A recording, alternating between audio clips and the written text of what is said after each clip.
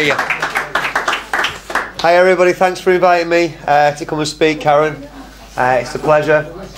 Uh, it's one of the first talks I've done on this. We've been online. Uh, this this topic has been online for a year, uh, oh, just over a year. Funny enough, somebody, um, in fact, Chris was saying um, he he went to look on YouTube, and there's now thousands and thousands of videos and video makers on this. When we started looking at it a year ago, um, when somebody first brought it to our attention, there was two or three uh, video makers. That's how quickly this this topic has um, mushroomed and and exploded. Really, um, normally people and you know the story with when, when I'm seeing it now. Like I said, I've been on board for best, best part of a year with this realization, really. Um, and the story you see all the time is at first I thought, yeah, what a crazy topic, yeah, whatever, it's lunatic. Um, but when I looked at it, I looked at it for a couple of weeks, I watched videos, I did measurements, I, thought about this, that, and the other, and all the rest of it. And I came back and I can't believe it. You know, the, the world is right. It's, a, it's a story here and again and again and again. I've been doing it for for a year. Um, people either get on board with it or, or they're closed off. You know, it's like you know I'm not having any of it, and that's fine. Um, what I what what uh, I'm really grateful for is the opportunity to come and, and, and talk about this stuff live. um, you know, in front of a live audience and see how it goes. I've no idea how it's going to go, so we'll see. Um, the, the, the similarities between what you already know, can you move to the next slide? The similarities between what you already know and, and this topic um, should become self-evident, you know, through through the talk I'm going to do, and that's what I've concentrated on. These are the four things. First of all, because um, this topic does drive people nuts. There's a difference between your primary knowledge and your secondary knowledge, and I'm going to contradict myself as you always do later on. But your primary knowledge is what you can obviously take from your own experiences, your own observations, your own evidences. But I also included that, including that, uh, the witness testimony of several, you know, of reliable people. So, you know, ordinary people say, lots of Australians say it goes dark at the same time as, you know, it's light here. you take you take the word for it. You can't be in two places at once. That kind of thing. Secondary secondary knowledge is quite clearly everything that you've been told that you can't prove for yourself. We all know that there are there is you know history lies etc etc and you can go on, on and on with that but just throughout throughout this topic you need to bear in mind that the, the complete between what you can actually verify for yourself with your own senses what can I see here feel what can I test if you're you know if you're into science what can I set up experiments for what can I observe uh, through my telescope etc etc what can I see for myself and what is then inferred knowledge what's oh yeah that's such and such because it's come from education or Hollywood or all those sources. So just bear in mind the difference between those two. I'll probably refer back to it quite a lot uh, as we go on. Second thing is things can be logical but not necessarily related to the real world. Sorry. um, things can be uh, logical not necessarily related to the real world. A good example of that is evolution. I'm not going to get into the whole topic of it uh, tonight, but it, but, but it does relate to it. Um, or DNA should I say, chimpanzees and human beings are allegedly 99% similar in DNA. What they infer from that and what we're all taught as children and the whole world is taught is therefore humans evolved from DNA. Now that's a perfectly logical um, step to make. It's a perfectly log logical and plausible um, way of thinking. However, if I give you another potential explanation, you can see how, well, it's logical, they're both logical, but, but just because it's logical, it doesn't necessarily mean that's correct in terms of the real world. So in terms of if you say, you know, if if you, you go the other um, the other side of the fence to evolution, you say everything's been created or designed, then uh, of course, if you're going to design a chimpanzee and a human being, of course the designs are going to be uh, similar. Of course, to, you're going to use similar DNA. You're not going to throw away, or you know, it's DNA for legs, arms, eyes, hair, you know, all, all the rest of it. So quite clearly, you're going to have um, uh, uh, you know, uh, not one necessarily leads to the other, and just because something's logical, necessarily, quite obviously, it, it relates to the real world. You're, you're with me on that. Did I explain that well? Okay, cool.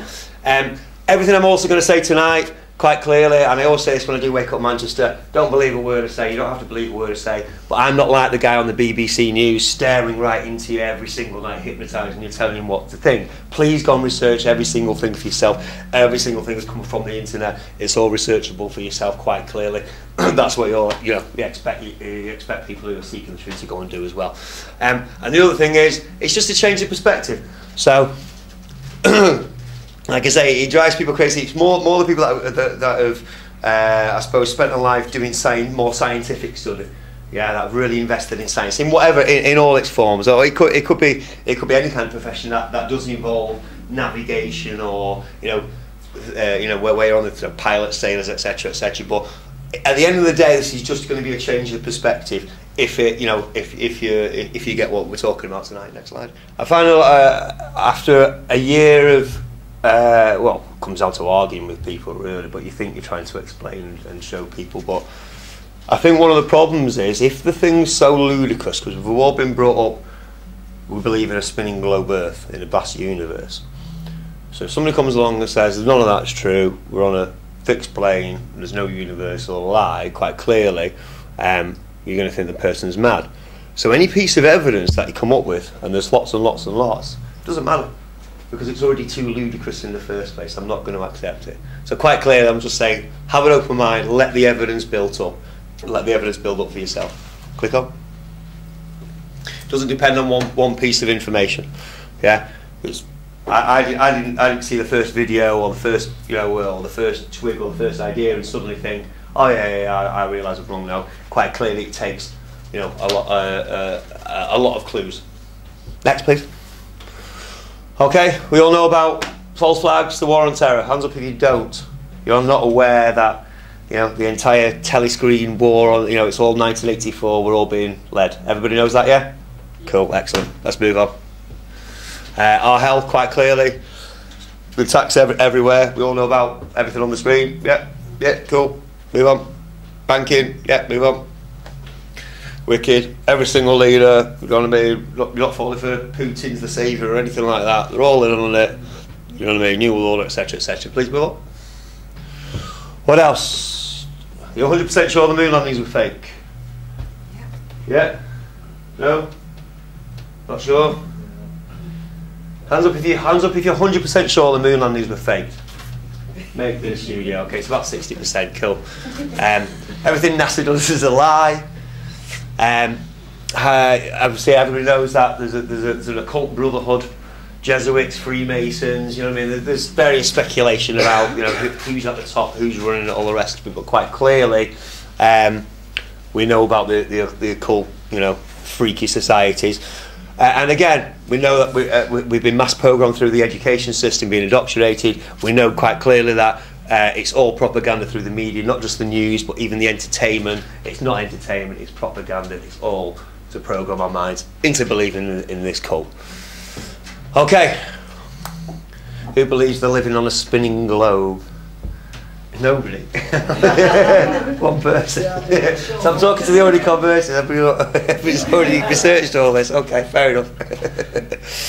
um, like I say, I, I don't, uh, you know, um, what I don't do is, is go on is go on speculation so much that I mean you do when you first look, look into a topic you look at everything you think everything you, you, you want to you know look at everything discuss everything. But um, when you get your feet back on the ground all I want to know is what can I disprove okay? If there's something that I can't prove um, then there's no point in you know saying you know obviously this is fact um, what I think this whole thing needs is for people to realise that we've been deceived, realise that that isn't the model, and then obviously, especially the scientific among us, to go out and find out what the hell is the model.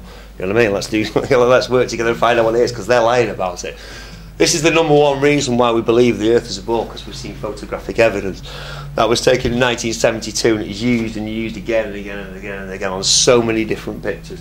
Never twig. Hang on a minute. How come it's the same it's the same. Why comes took, took one picture? You know what I mean? Photographers take hundreds of thousands of pictures, hundreds of pictures of you know one rare bird or whatever it is. Um, we'll come back to it in a minute. Next slide. Everybody's got a globe in the classroom. Everybody's a globe in every classroom. Um, that's another reason.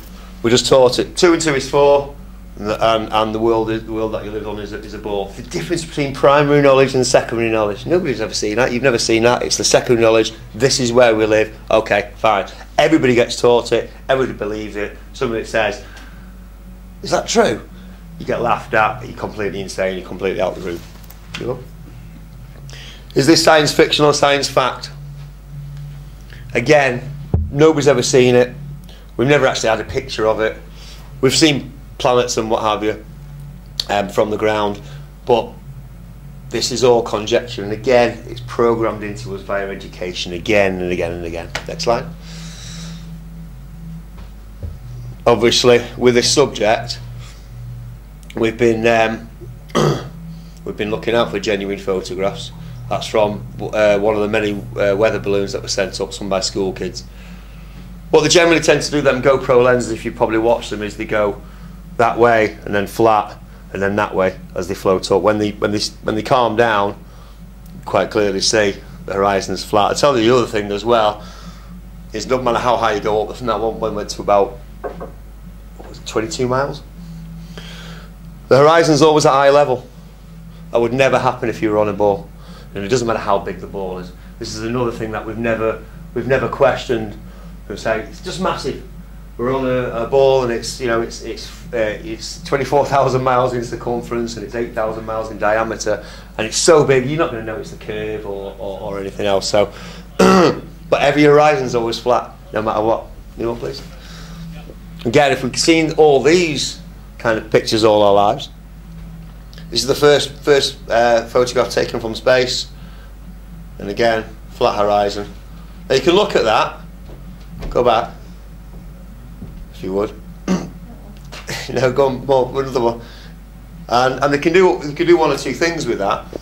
You know what I mean? Because it's always a it's always a small quarter, and they can say you can get it to imply that it's just part of a massive Earth, but as you've seen, it's a completely and utterly straight, flat horizon. Next. Okay, we're, we're going to absolutely uh, we're going to whiz through these because you all know the moon landings were completely faked. It was completely issued. You've got to think as well that if you're faking the moon landings, they didn't go halfway there. I heard I hear stories of, uh, well, I think we went there, but there was aliens, or, and, they, and they warned us off, so so we ran away again. That's from a Hollywood script. It's how easy that people's um, ideas and beliefs about about about the world, about about the truth in the world, are, are, are mixed up and confused by Hollywood and by education. Um, if you ever want, you know, if you ever really want to tell people, you want to show proof to people that they that the, the moon landers are fake. Just show them the landscapes. Just compare landscapes from the moon with landscapes from. I just pick, picked a few at random on the internet or, or also just we'll, we'll run through them in a set. But you can quite clearly tell these are sets and they're painted on, and you know obviously the real landscapes from Earth, uh, real landscapes. Supposed to be a quarter of the size, but you'd still get a sense of depth. Your own eyes, your own senses can quite clearly see um, that you know uh, the difference between the moon the film set and Earth. It doesn't seem to be any longer than 100 yards, but we'll, we'll flick through. Yeah. You can't really see with the colour very well, can you? Okay. quite clearly see there are mountains in the distance. It is going to take you quite a while to, to get over there, unlike the next picture. Yeah, these are painted on. Especially at the pointer, really. This is a set. That's where the actual set finishes. This is Stanley Kubrick's yeah, Mountains. Let's have what he did for 2001, the year before the, the, the moon landings. Yeah, move on. Uh, Grand Canyon, as you can tell, it's got real depth to it. Again, just, just flick through them. Compare these side by side. People will soon quite clearly see. Real mountains, fake mountains. Real mountains, fake mountains.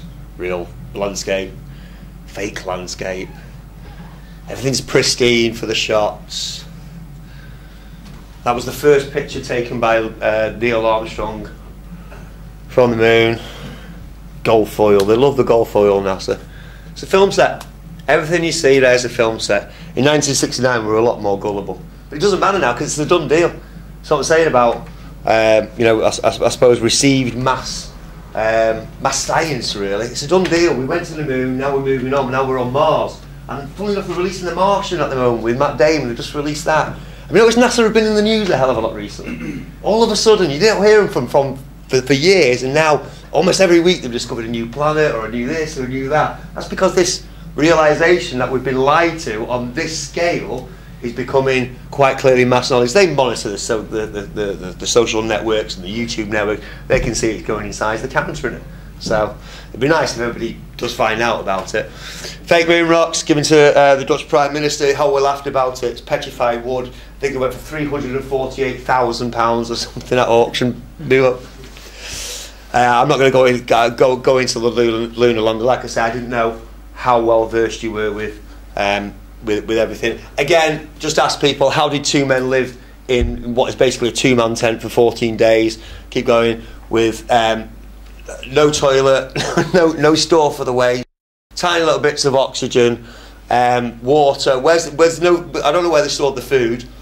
And if we figured out how to do CO2 recycling technology, maybe we could tell the global warming alarmist propagandist liars as well about it. Doesn't make sense. And um, that's an exact replica. I don't even know how they got in this door, to be honest, with a with the with the, with the big spacesuit on. But you know, there you go. So car. Go on, just just flick, just flick, just flick all through these. Apparently, they, they live, they, they stretch over in hammocks. Inhumane. Go on. Yeah, go through. Um, this is interesting. They did seven missions to the moon. One crashed. You know what number it was? Apollo 13. It's funny as well because all the landing sites that they did make. So one didn't crash. He didn't. He didn't get there, and they had to slingshot it, and they, they made a film about it. Excuse me. Um, all, all the landing sites are on the on the near side of the moon, the light side of the moon. Um, again, these people don't do anything by halves. They don't miss a trick. Everything's numerology and symbology with these, but we'll come back to it in a minute. Um, what I really want to do is talk about how NASA and everything that the public has shown about outer space is completely, they are all Freemasons, it's all part of the occult. They don't try to hide it as well. Um, I found this, I thought I always, I thought this is very interesting for people that know what nine, you know, obviously know about 9/11. The symbology here is is phenomenal. You know what I mean? 9/11, right there. Okay, you've got your. It's a 30 year anniversary. Yeah, fair enough. They could have done it at 25 years. They could have done it at 40 years. But they, they chose 30 years. 9/11. It's also two years before 9/11. Quite clearly, what's the ones? Why are the L's? You know what I mean? It's just you know any, anyone that knows will make that connection quite easily. Yeah, next. Um, you've got your double-headed eagle, the Rothschilds, uh, your square and compass, our men on the moon, 33 degree right, southern, uh, you know, Al- Al- Albert Pike's chapter of the of the occult brotherhood. Yeah, move on. Uh, all Freemasons. Move on. You can, like I say, you can. You, you, you probably already looked all this up for yourself. Is the crew of Apollo 13. Look really happy. Symbolism everywhere. Go on. Yeah. all of this stuff freely available on the internet, like I say, just in case you weren't sure about myself. It's not again hiding it. He's, there's his, there's his big shrine hat. Yeah, Mason Mason ring. Keep going. um, I don't know if you know about Jack Parsons of JPL, Jet Propulsion Laboratories. Um, he tied completely tied in with Aleister Crowley, who you should all know, obviously through uh, you know, again, the Freemasons, the Theosophists, uh, self-titled the wickedest man in England. He would have sex with animals, boys, all the rest of it. Um, if he was alive today, it's funny enough, Aleister Crowley, if he was alive today, he would be wickedly popular. He'd be a cool cult uh, dude. You know what I mean? Satanism is quite popular um, at the moment. The connections, you've got L. Ron Hubbard with Scientology. There were, uh, L. Ron Hubbard and Jack, Jack, Parsons formed a Babalon Working sex cult thing in, in Hollywood. Um, and again, this is how NASA got its start. Got its start. Walt Disney was also involved. We'll come back, come back to him shortly as well. Yep. Um, Jack Parsons at an occult ceremony. You can see the Masonic floor there. Um, it's still going on today. It's not old. Um, there's the ISS doing a change of command ritual. Um, again, if you've done any research into NASA and space and the ISS, this is not out, out in space. Again, if you've watched any of the videos, they've got hooks on the um, on the back of them. They're, floating like like this. I don't know if you've seen the woman with the Medusa hair. That's a that, that's that's a beauty. That you know what I mean. It's got weaving all over the place. It's stuck like that. You know what I mean. But hey, there you go. Everything's connected with the cult with these guys. Yeah. Again, if you're aware of if you're aware of that uh, uh, that side of uh, of everything that's going on, um, you can you can see quite clearly how uh, NASA, outer space, all, all of this connects in. Yeah, keep going. I love this. Motorcycle helmet's going to keep you spa- you keep keep you safe from radiation, and a, and a shiny and a shiny silver suit, John Glenn, just brilliant. So they stopped going to trying to pretend that they went to the moon. They did their seven missions, but they're one missing, like number six, don't we? Um, so we did we did flight we did space shuttles then, but every space shuttle launch they go up and then they go kind of on the back and, and along for quite a while and then it goes out of out of view. And I'll look for, and again, try this for yourself if you would. On looks on YouTube for one guy, 135 missions. They did one guy that just pointed the camera out the front window, and un, un, uncut and continuously saw go rise up and all the way into outer space. I mean, I don't know if they didn't go. I don't. They might, might have gone four, five hundred miles up, but at least show us that every single video cuts, and it normally cuts to a piece of CGI of the satellite spinning that they've got the payload for. Well, why not just keep it going? Every single one cuts. You also ask yourself as well, why do all these launch uh, stations like Cape Canaveral, Cape Kennedy, and all these places, why are they all by the sea? If they're all going off the Earth up into space, why not have it in the middle of the land? What difference does it make? It's going up in it. Well, there is the reason for that is because what they do is they go up, and they go on the back, and they go over out of sight, and they parachute down to the sea and they stay out of the stay out away for ten days, two weeks, or well, they go to their underwater film studio. They've got several different types. Um, it's just a plane. You know, I was quite disappointed. I remember being disappointed because I was a sci-fi fan and, and, all the rest of it. I was quite disappointed when they went from these rockets that, you know, these outer space rockets that go to the moon. It's basically a plane, and it even needs some kind of jet things to, to, to, to get it going anyway. But again, you don't question it until you know what I mean. Until somebody, I suppose, you know, gives you a little shake. You, you, you just don't question it. But it's not just that we didn't go to the moon, it's that they're lying about every single thing about outer space. Next, please. Keep. Um, Lycra and nylon are going to keep you safe from, again, from Van Allen belts and massive solar flares and radiation, apparently. Mylar, nice reflective surface. Teflon. yeah. This is an astronaut. I want, I want, go back. Yeah. I remember uh, we wanted to be an astronaut when you were a kid. You be an astronaut, you've got to know all this science and you've got to know this thing and you've got to be physically fit and all the rest of it. I don't know how many billions they're spending. I do actually. It's 16, 17 billion a year. 17 billion NASA for this year. You think, you know, I don't, I don't know if this guy's got, got, got like 17 more degrees than me and, and he knows loads more science than me, but it just doesn't look like, just doesn't look real at all. Um, that? You think they come up with something more elegant than that? It's like one of them big chuck keys. Go on, keep it. Um, anybody seen this recently? Pictures of Pluto out in NASA. I mean, we've got Brian Cox now saying there might be life under Pluto. They've certainly come out with water and an atmosphere all of a sudden. Um, I think it looks like, well, a lot of people saw it straight away. You know what I mean? Keep going. Christmas bauble. This is the biggest one. It's an Atlas stone. It's an Atlas stone. Honestly, as soon as, as, soon as I, I, I kind of reposted this and said, what the hell is this? People that went to the gym said, is this some kind of observation test? It's quite clearly an Atlas, an Atlas stone. And again, sorry about it, you know, it's, it's not displaying as, can you go back? It's, it's not displaying as good as it, as good as it could. Go to the Atlas stones. You can't really see the texture there, but all they've basically done is taken one of those and filtered it up and taken a picture of it and called it another planet. Keep going. Somebody's done uh, did some work on Photoshop with it. Again, you can't really see the, the, the rings here, but you can quite clearly see it's been created, been created and, and pasted in. There's not been a, a, a what do they call it, probe. I don't know the name, name, name what they call it. something satanic and Babylonian. Um, but the probe has not flown past Pluto and taken that picture quite clearly. Photoshop proves that. Yeah. Uh, this is the latest Dyson. It's not. Oh, it's the latest air conditioner. It's not. Does anybody know what this is? Believe it or not, this is the Ke it's the Kepler telescope. It's the Kepler telescope. Can prove it. Next slide. That's it being built with all its gold foil and all the all the all the NASA scientists with the suits as if it's I don't know radioactive or something. I don't know. It's, it's about I suppose about it's about as big as a house. Um, here's a picture of in space. Again, go back. That's primary knowledge. Okay, that's some guys building a machine. We don't know whether it's going to work or anything else, but there's some guys building a machine. That's fair enough. Go forward. That's secondary knowledge. That's telling us that it's going to it's going to fly in space, but that's not actually a picture of it in space. I defy anybody to find a real photo of a real satellite working in space.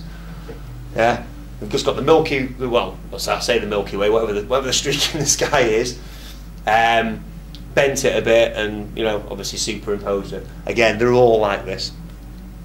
This is how it explains how we know about all these other planets out there. It's how it detects planets. It doesn't actually see them. None of these telescopes are out in space, you know, like actually, actually, you know, seeing them, uh, you know, with, with, these amazing cameras and what have you. So now it works.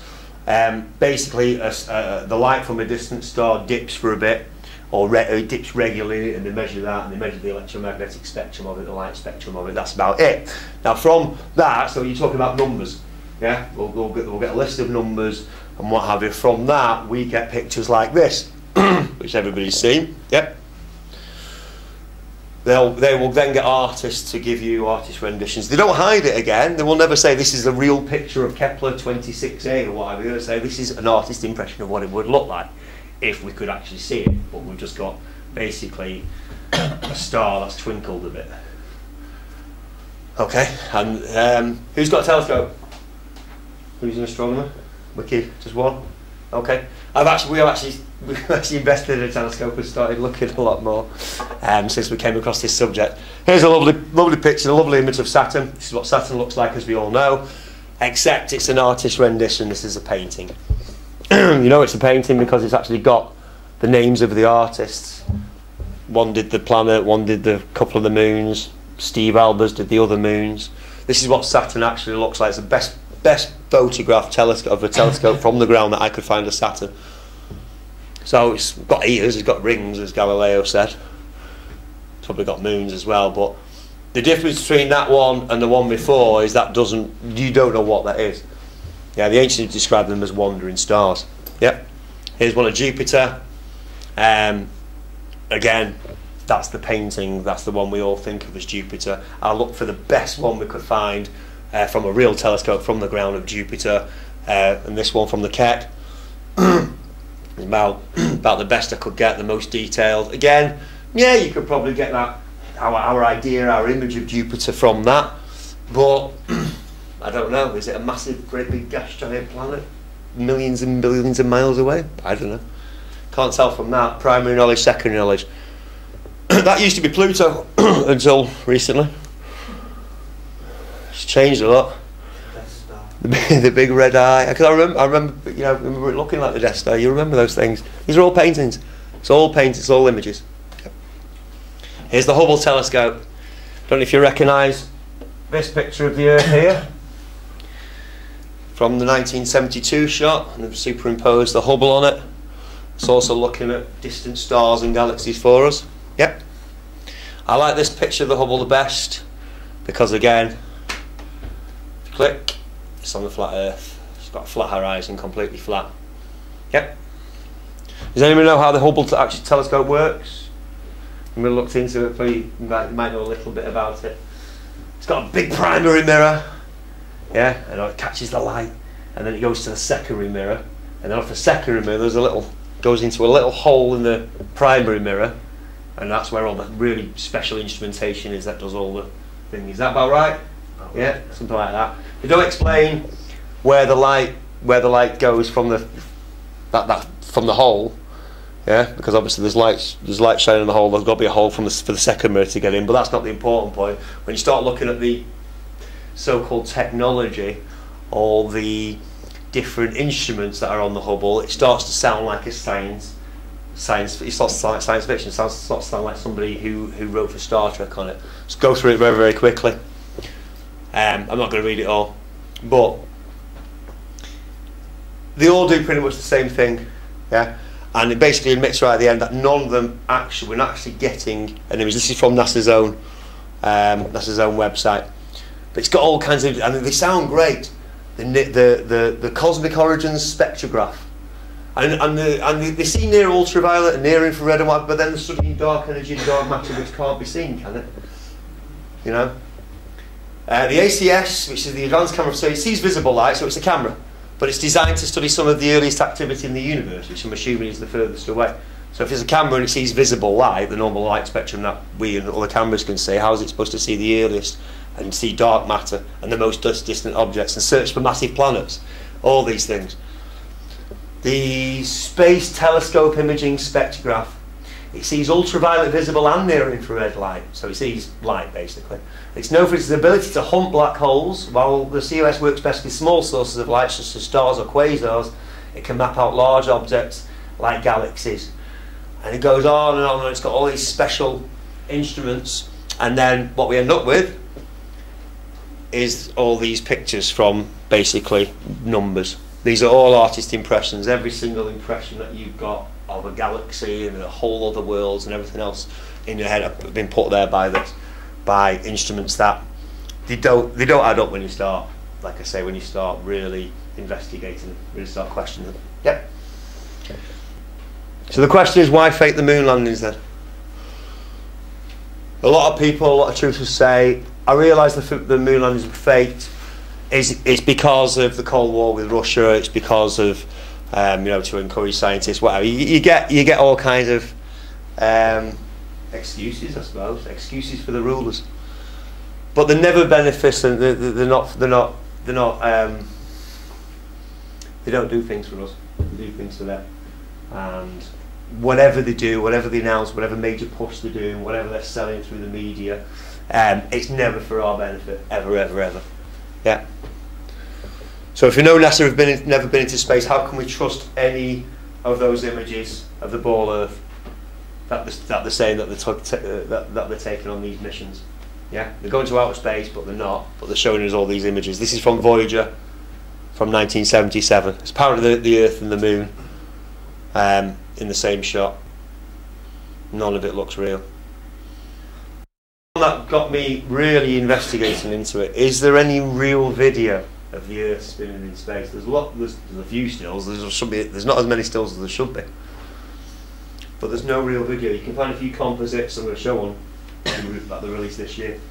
That'll really, if you if, if you if you believed anything before, you'll go. Hang on a minute. Um, there's no video. You'd want to see that. The Earth's supposed to be a magnificent spinning blue jewel in the vastness of space, and it's light lit up. It's the only one with life. Yeah, obviously, it takes 24 hours to, you know, turn. I realise you're not going to see much of it, but I'd like to see, you know, just for 10 minutes or 15 minutes. Show us. ISS have got a live feed now. If you've had a look at it, again, that's not the whole ball Earth spinning in space, really.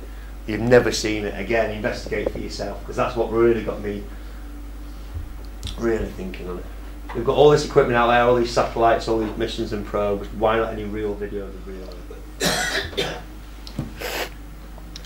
People wouldn't believe me at first when I show it. How many seen this before? Nobody's seen it. A couple. This is again, it's official NASA photo from a million miles away from Earth of the moon passing in front of the Earth. I don't know if you can see it or you can all see it. Sorry, I'm going right. Now, don't forget the moon's supposed to be orbiting the Earth. Yeah, it's supposed to go around it. That's what they tell us. But that's just all they've done is quite clearly, and they say it's a composite. I'll show you as well, and again you can investigate yourself. It's on, it's on NASA, NASA's own website. That's just going straight across. This, it's, it's not going. It's not it's not going. It's not going around the Earth. That is it. All they're doing is passing it in front of the Earth and spinning the Earth a little bit. And as you said, there's no actual movement of the clouds. Now that's five hours. You click it, it'll, it'll, it'll tell you between three, three fifty and eight forty-five p.m. on July the sixteenth. That's five hours, and the clouds just go. There's also a hot spot if you notice pretty much in the middle of the middle of the Earth. But that hot spot is not taken over by the moon when it passes in front. So if the sun's supposed to be in front out here, isn't it? Yeah, there. That's why it's all lit up and you've got a full moon. You've got a little hot spot here, if you can see it. There, on the Earth. But the moon, that doesn't change at all. Quite clearly, keep going on about this to be honest, but quite clearly this is a fake. But they're telling us that it's real. It's been, it's been, it's been released to mainstream media. Most of the world thinks this is a real image of Earth. You're mad. Shut the hell up. When you actually start examining it, you start looking at it with the open eyes that you've already got, you realise that no, uh, uh, this is a fake too. Because Earth looks different every year, to be honest I'm going to really get into that in a minute. Yeah, next. And again, from that 2015 imi image, this is a shot from, I think it's 72 again. One of the guys on the moon, there's the distant Earth. Well, if that's right, it'd be like that. Actually, no. I think. Next. It's probably more like going to be like that. It's going to be about four times the size as the moon appears to us in the sky. You'd expect if, if, if you could actually stand on the moon, and I don't believe you can. I don't believe it is a rock. Um, then then the Earth should look four times as big as the moon does to us because it's allegedly four times bigger. Next. Uh, this is a still from the same set of images from this DSCOVR satellite. Again, you can check this for yourself if you've got, um, well, if you've got the internet. Um, there's something very, very, there's a secret hidden in there. Does anybody, anybody know who doesn't know the, or the, who hasn't really researched into the flyer? Has anybody noticed any anything odd about this? Is it the word sex? It is indeed. it is indeed. It's right. It's right out there. Um, I mean, even before that, and we'll, and we'll go into it. But where the hell's the rest of South America? Is that a flood? Again, I'm going to show you a comparison of all the Earths that, well, not all the Earths, but a few of the Earths that NASA have, have released. And the land masses the shape, the shape of the continents changed, the colour, the, you know what I mean? And I know, you know, the world changes, but not, not this much. Although I don't think the, the colours are going to uh, really bring it out. All we've done with that 2015 NASA picture, you turn it upside down, you probably already see it, and it says sex. You think, well, does it? I mean, it says something. It says something. That it's close. Go on. And again, we I haven't we haven't doctored this. This is from the official image from 2015, the official released image. So you can check it out for yourself. You move on. You think, well, is this? You know, again, again, it, it, is it coincidence? But you see exactly the same thing from Disney. Now and again, if you don't know, Disney are programming all the kids, not just Disney, obviously all, all the all, all, the major corporations, all the major propaganda, all the major entertainment, the media, etc., etc. But that's too close because that's that's done in exactly the same way. You could do it in a zillion different kinds of scripts, but that is written in exactly the same way. It's from The Lion King. That, and if you think again, you know, are we seeing things that aren't, aren't really there? Click on. No, Walt Disney, Walt Disney are doing this a hell of a lot. and again, I don't know if you can make these out but these are all stills from Disney films. Yeah, all programming. All of these are programming ch children. So how we, we're living in a sex cult. I'm going to say this Babylonian death and sex cult, and this is a big part of it. Yeah, Walt Disney itself. We can see the six, the first six on the left of the W. There's another six where the I with, with the dot of the I, and then there's another six which is the Y. Six, six, six. All part of the same cult. Yeah. All programming. It's all programming mind. Here we go. NASA. You spent, uh, I don't know. You could go. You could, you could spend quite quite some time going through the uh, the mnemonics for NASA. Again, when you look into it for yourself, the it, it, you know obviously it's all it's all uh, Luciferian deception. Move on. This is what I really wanted to show. Again, these are all NASA images of, of the place where you're supposed to live. Yeah. Um, the continents change every time. I tried to pick the ones that showed. You know, I, I, I, picked America. It could have been anywhere. It could have been the ones that all showed, showed Africa, but America. The size of America. This is an official 2012 shot from the uh, the Suomi uh, satellite of Earth and they released it. And look at the size of America. It's it's the biggest continent you've ever seen in your life, but it's shrunk back to normal size again in 2015. I mean, that's some serious. That is, if that's true, then we really have got problems. You know what I mean? We really haven't got climate change or, or, or environmental problems, which again I think are all made up, and I think they all they all tie into it. Um, yeah, move on. It's not just the, the NASA side, the so-called news side, the education side, the official side, the site, the sciencey side.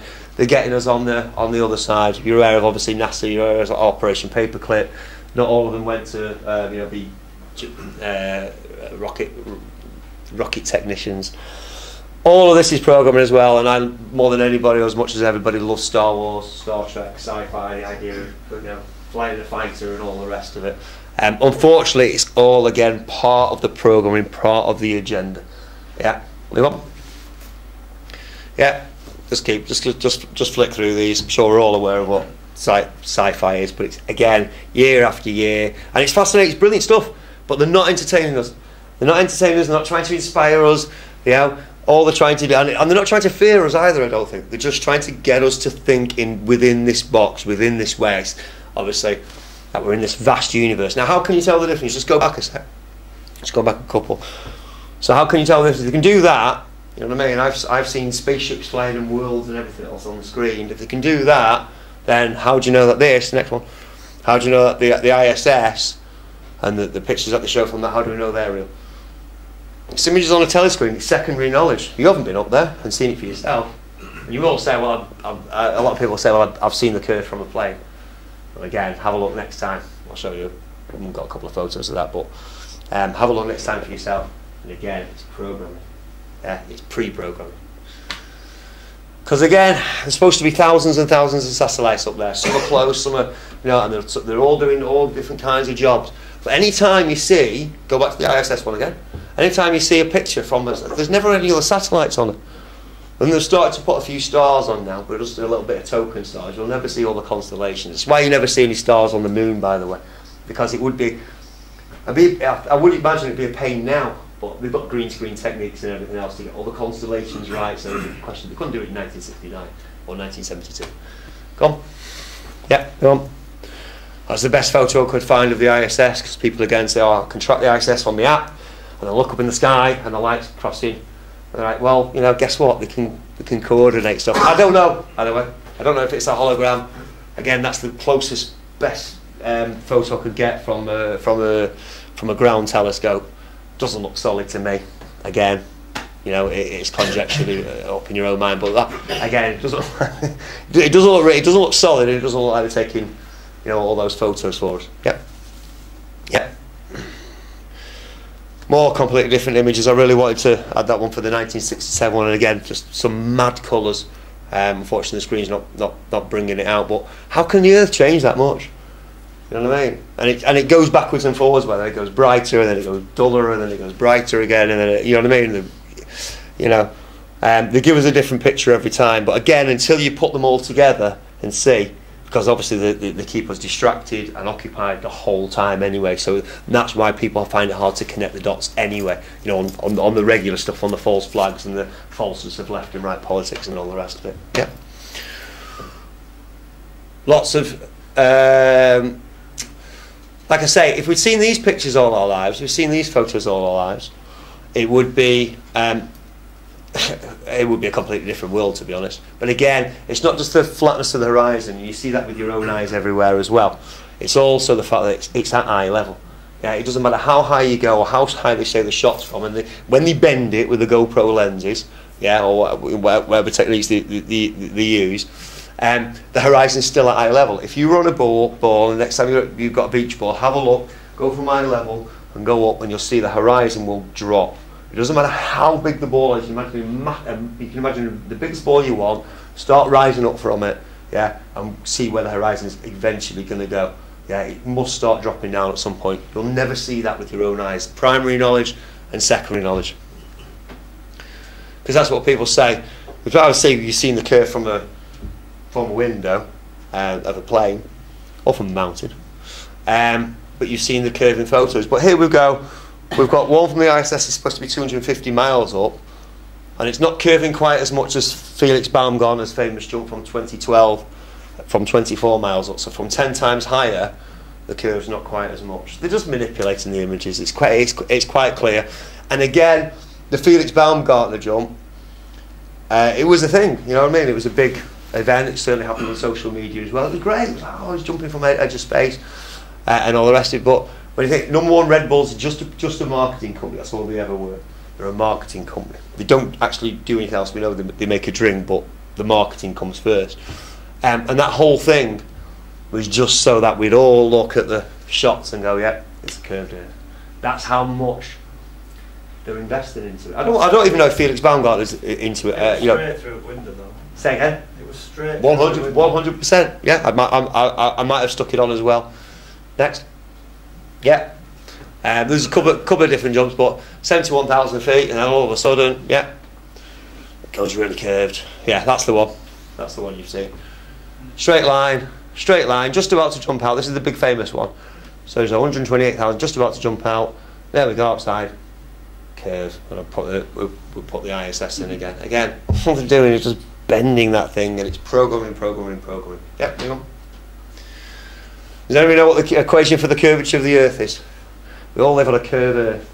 Yeah. All these, all these professions.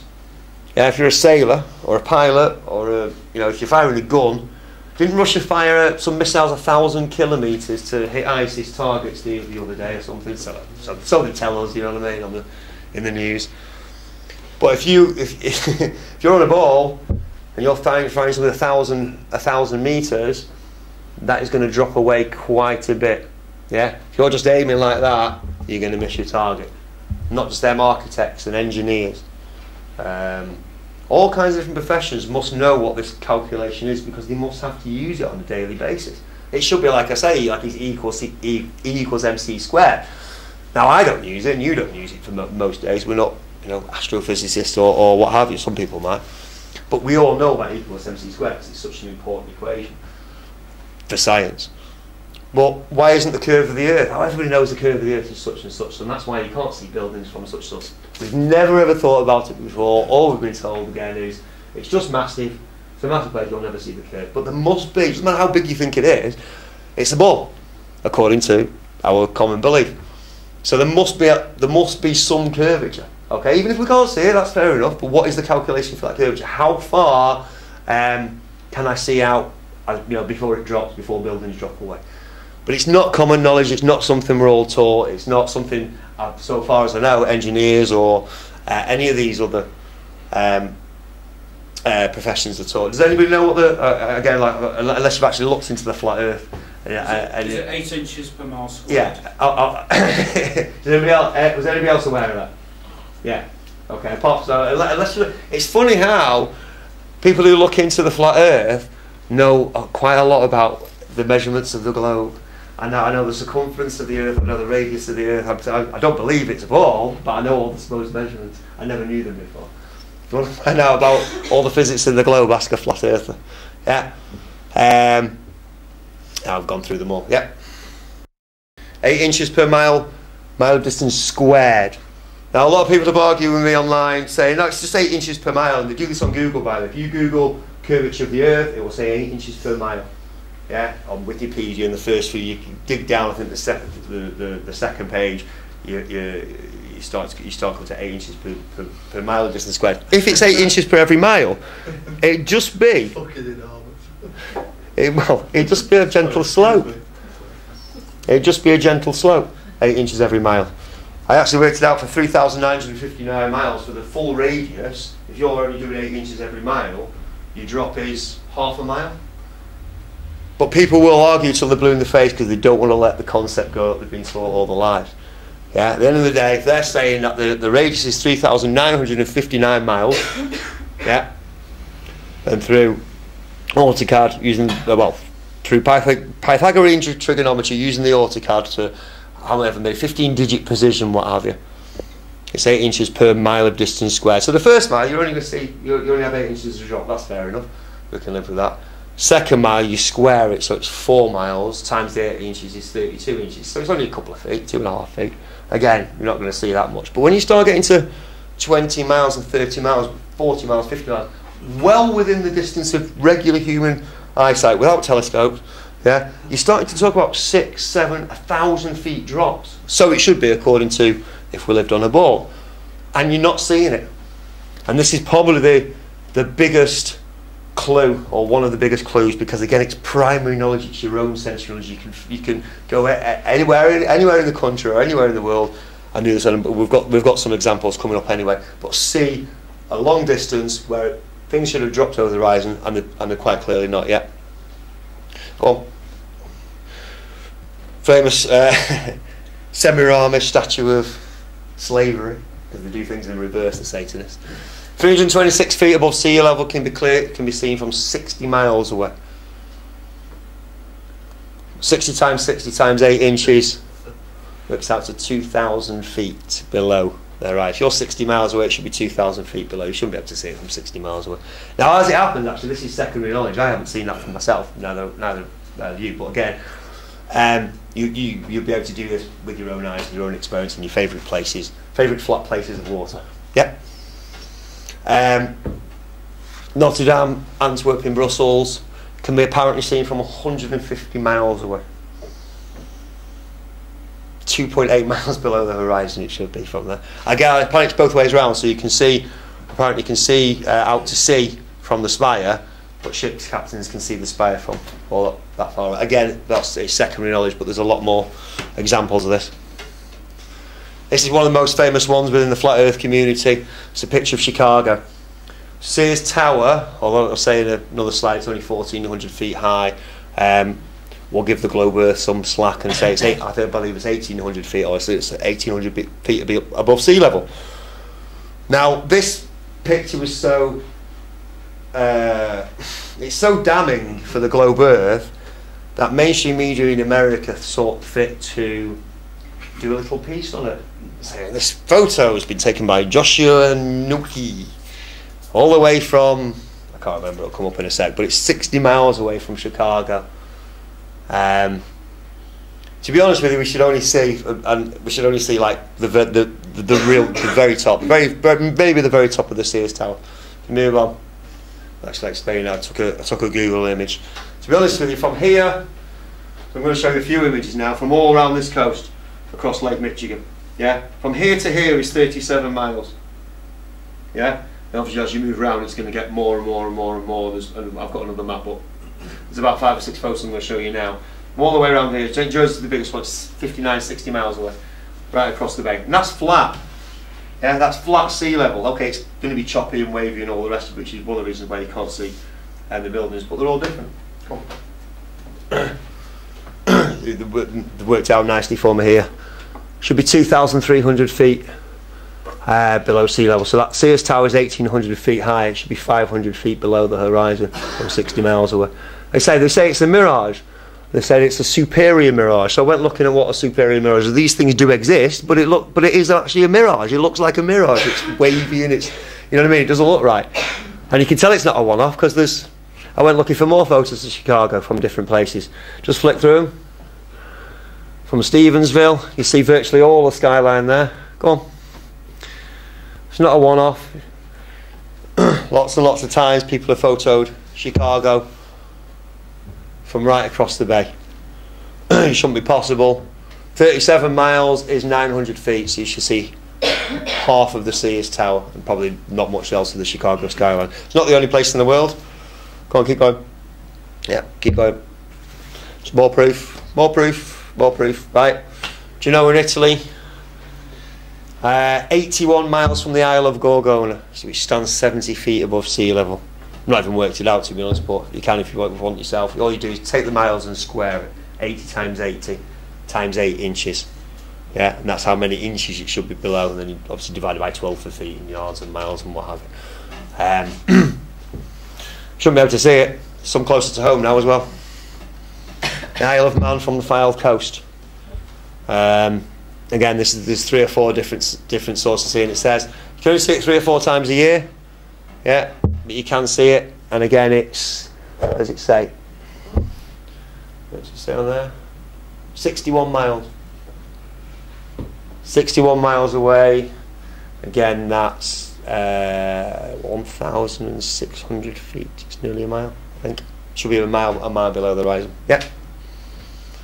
Again, I put a nice little Google map on for you, but you can check it out for yourselves. Yeah. From Cleveleys, completely different shot, completely different photo source.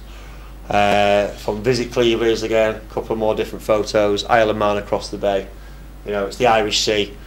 Um, you know, shouldn't be able to see it if the globe was curved. More, yep. Yep, yep. See it from the North Wales coast as well, all the way from London, Llandudno, 75 miles away. Yeah, somebody else's photo. Google. It was a time when I thought Google's going to kind of change the world because you've got all the information, all the world's library, right? Um, all of those library at your fingertips. Quite clearly, this is the 1984, the Winston Smith, the rewriting of, of fiction and history that you know they warned us about. It's going to be online. It's going to be virtual. The, we know they're going paperless, and you know there's this move to do it. It'll be another generation, but there'll be no paper. Everything will be digital. All all information will be controlled. You won't be able to get these kind of photos on imagine anymore, especially if more people become aware of it. Yep. Showing you this one from 1946, first rocket up in space. Yep. There's a big one. difference between primary knowledge and secondary knowledge. Again, we've seen all these photos of the ball Earth all our eyes, but they've got these big Pacific Oceans and Indian Oceans and Atlantic Oceans, which must kind of bend round. Oh, well, gravity does it, but I don't want to get into that. At the end of the day, have you ever seen water with your own eyes bend into the shape of the ball? It doesn't do it.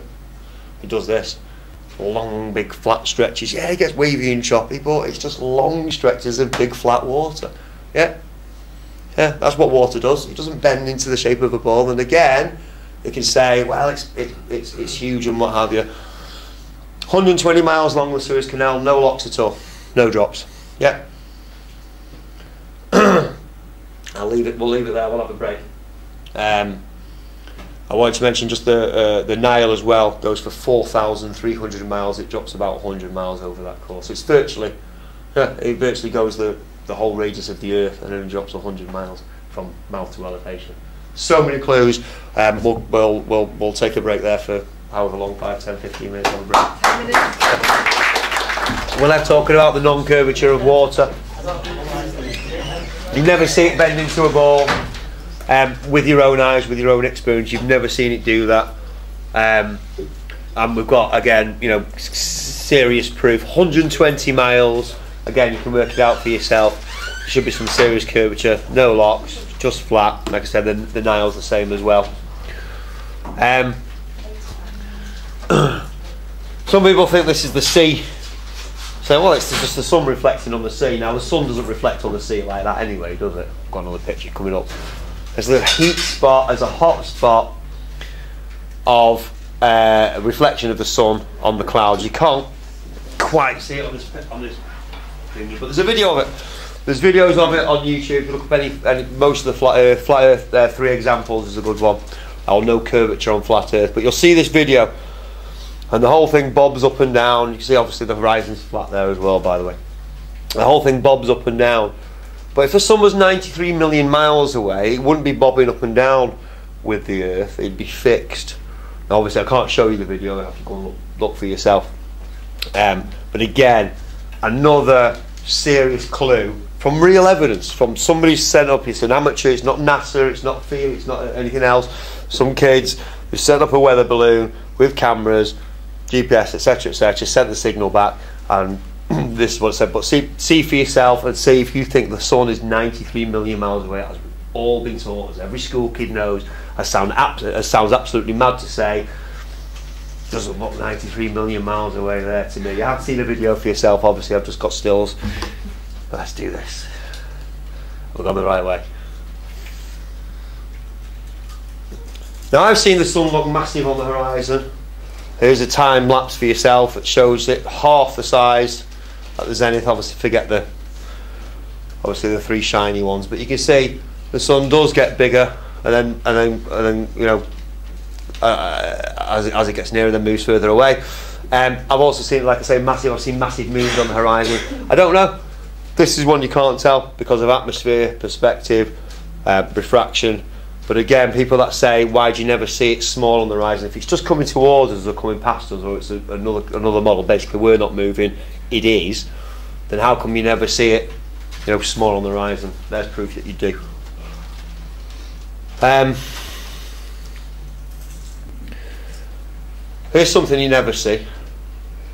Whenever you see the sun reflecting on water, the reflection is all all the way to you, to the edge of the water. If you stand at the edge of the water, it always comes all the way. Now, I don't know if ever, anybody's ever seen or been aware of this phenomenon, where you're standing on the beach and you see and the sun's going down, and as it goes down, the reflection recedes across the water. Have you ever seen that phenomenon? Is that a thing? I've never seen it. It just kind of there, and then when the sun's not there, it's gone. Now again, think about it. If you're on a ball, and obviously you're spinning, but basically the light of the sun is receding away as it's kind of going over the horizon, and that's exactly what should happen. That beam of light, that uh, reflection of the sun, should recede away from it. If it was miles in the distance and we're slowly spinning away from it, it should disappear, and that would be a, a, a, a nice earth phenomenon like a rainbow or, or the northern lights. It doesn't do that. It can only do that from above if the sun's directly above us. It can only do that kind of reflection on water if it's above us and obviously receding away. Um, I can't get used to this now. I've seen the curve of the earth when I've been on a plane out of the window. I tell you now, you haven't. You've been pre-programmed to think that. There's a photo to prove it. Again, that's what you actually see. But look for yourself. Again, look for yourself. Next time you go on a plane, uh, you know, once it reaches cruising altitude, 35,000, 37,000 feet, it's about seven miles. They only go about seven miles up planes. So you're not, and people say, well, you're not, then they reverse it and say, well, you're not going to see the curve from that, from that high up anymore, from that, from that level altitude. Ayers Rock, massive flat horizon. Ayers Rock's 15 miles long. I've no idea how far that makes it in the in the distance. No curve. The moon's, moon's a really interesting one. I don't get into it here. Again, the moon, you see a light in the sky. You can go back to the moon landings with this. How it, um, I'm not going to go into it. It's for a few minutes. Um, it glows. It glows in the dark. That's our experience. We see it glow in the dark. Has different phases. But again, all those shots of the moon from the moon with a, you know, running about, just double speed them. By the way, you can see them just running about. But they're all grey. They're all grey dust. It's not glow. Rocks don't glow like that. You've got the white cliffs of it's about the whitest, about the brightest you can see in bright sunlight, but it doesn't glow in the don't glow in the dark. And I say again, the sun that's lit up by the sun millions of miles away, but there's no hot spot on it. It's always evenly lit. Yeah. I haven't got the pictures of actually because, like I said, the, the, the moon's a whole other. You could spend, you could, you could do a whole talk for a couple of hours just on the moon. Um, the other thing I say really is what again, use your own senses. When you see the crescent up to about the crescent, between the crescent and the half moon, especially the sun's setting, check to see if you've ever played pool. You should know your angles. Yeah, when the when the when the white ball comes off, you know you know what you know what angle it's supposed to be. So check the angle of the moon as the sun's setting. You'll see it's about 10 20 percent degree off. When you actually start watching it for yourself, noticing the sky. Obviously, got to be a clear sky. We don't get many of them with the geoengineering nowadays. Tilt of the Earth is 23.4 degrees according to Wikipedia, the official rulers.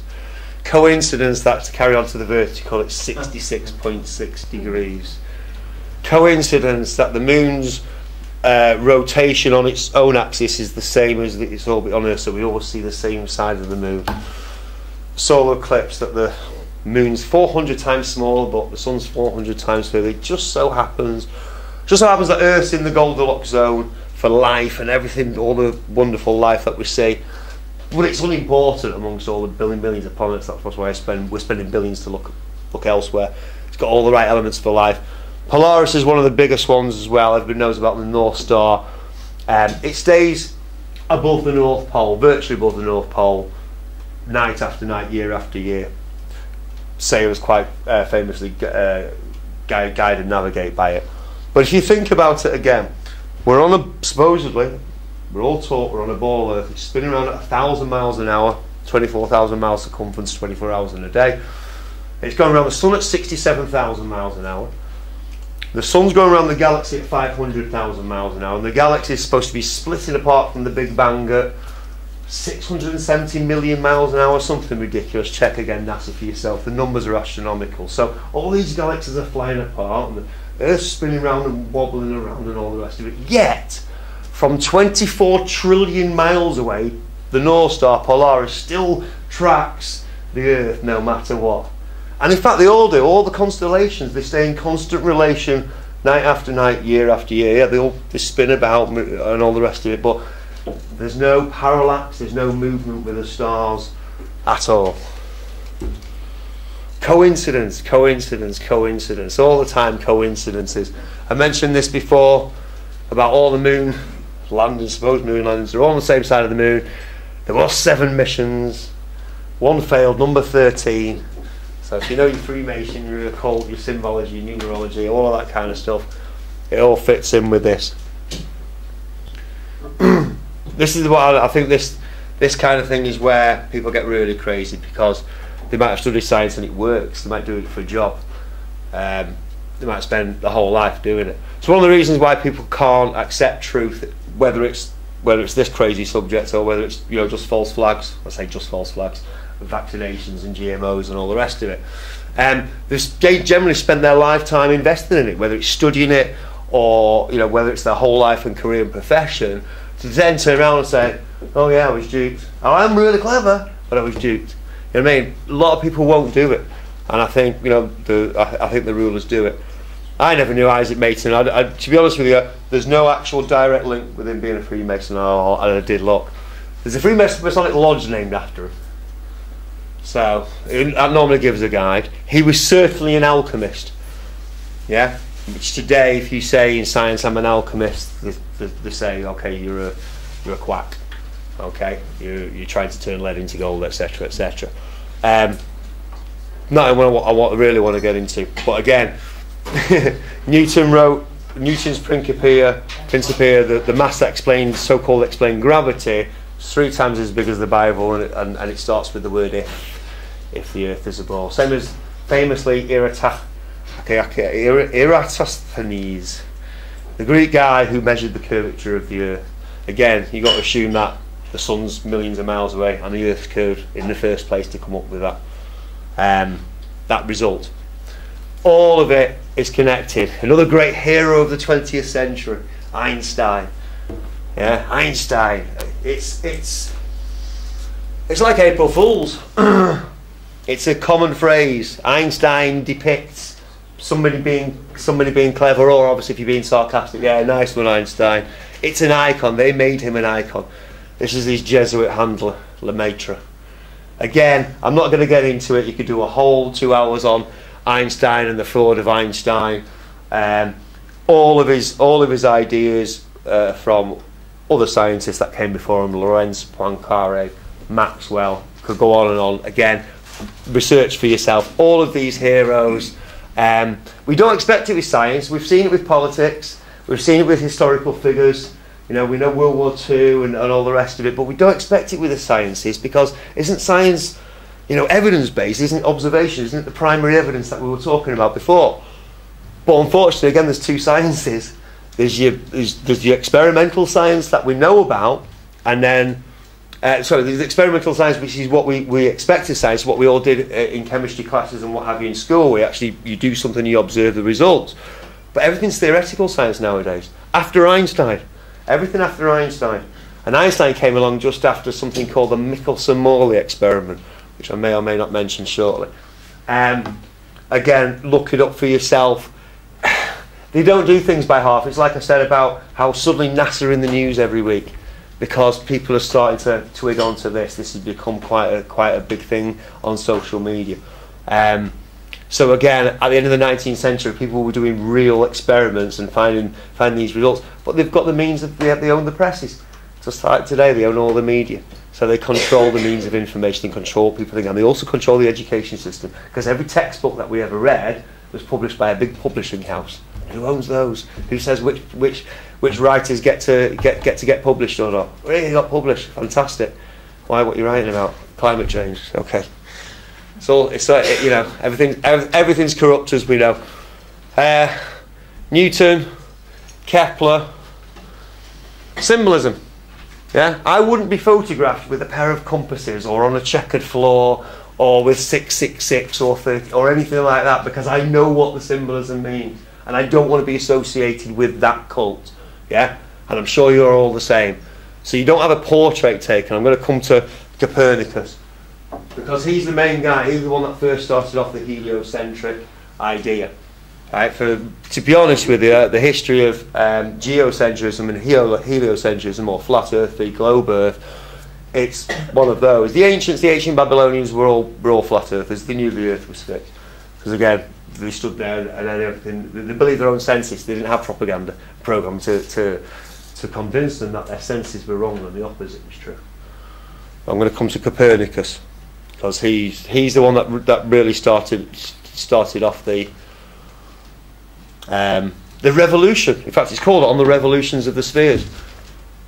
And uh, like I say, symbolism. The big connection.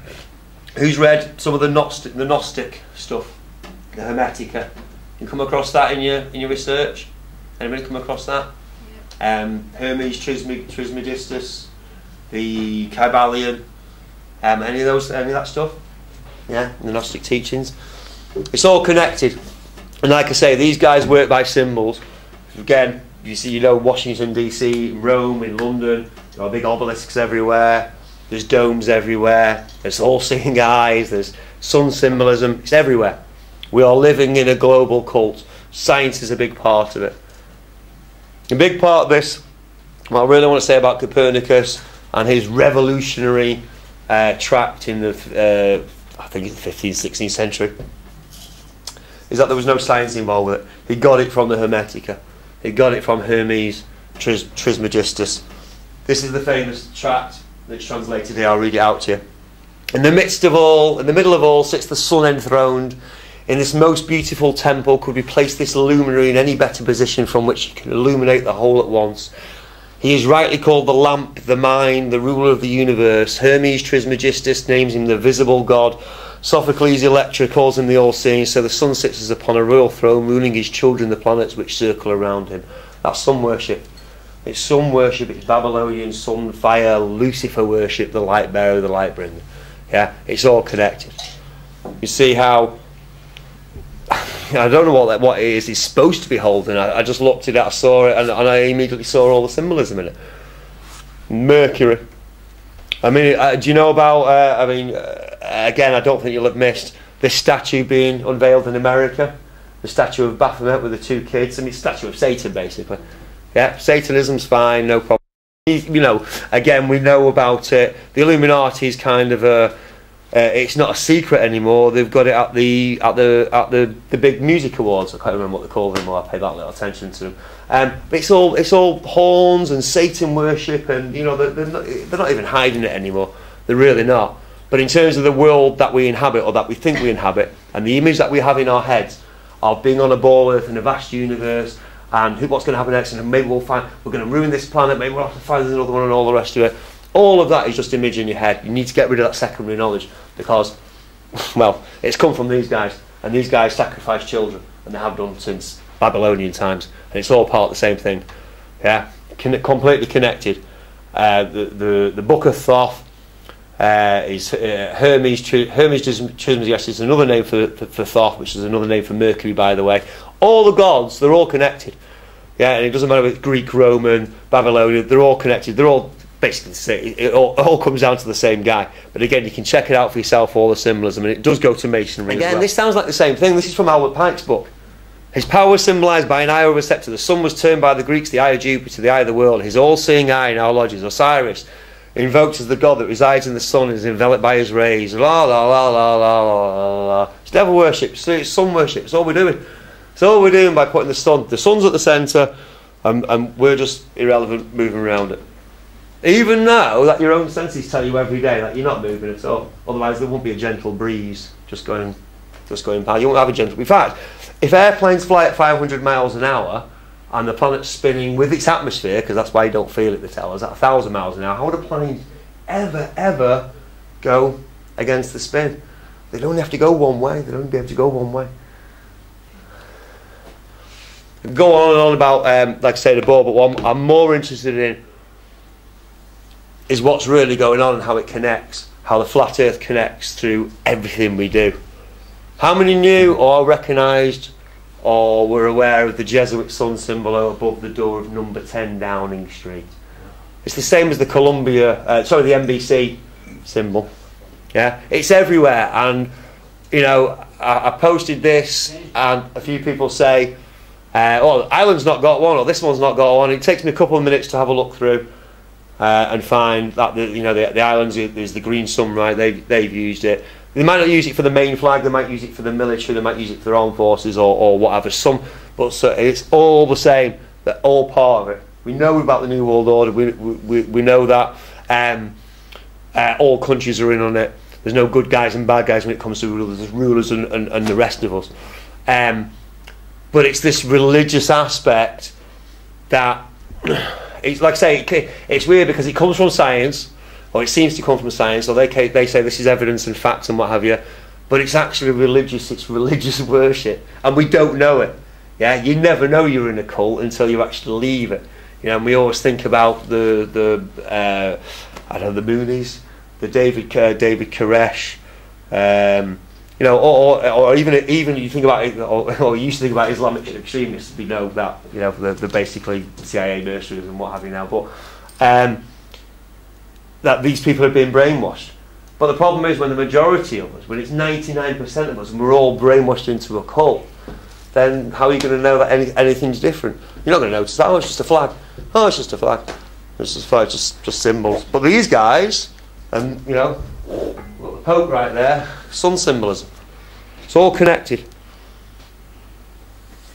Good old Nazis, cult of Ra, Baal, and the Jesuits. And the Jesuits control all the secret societies.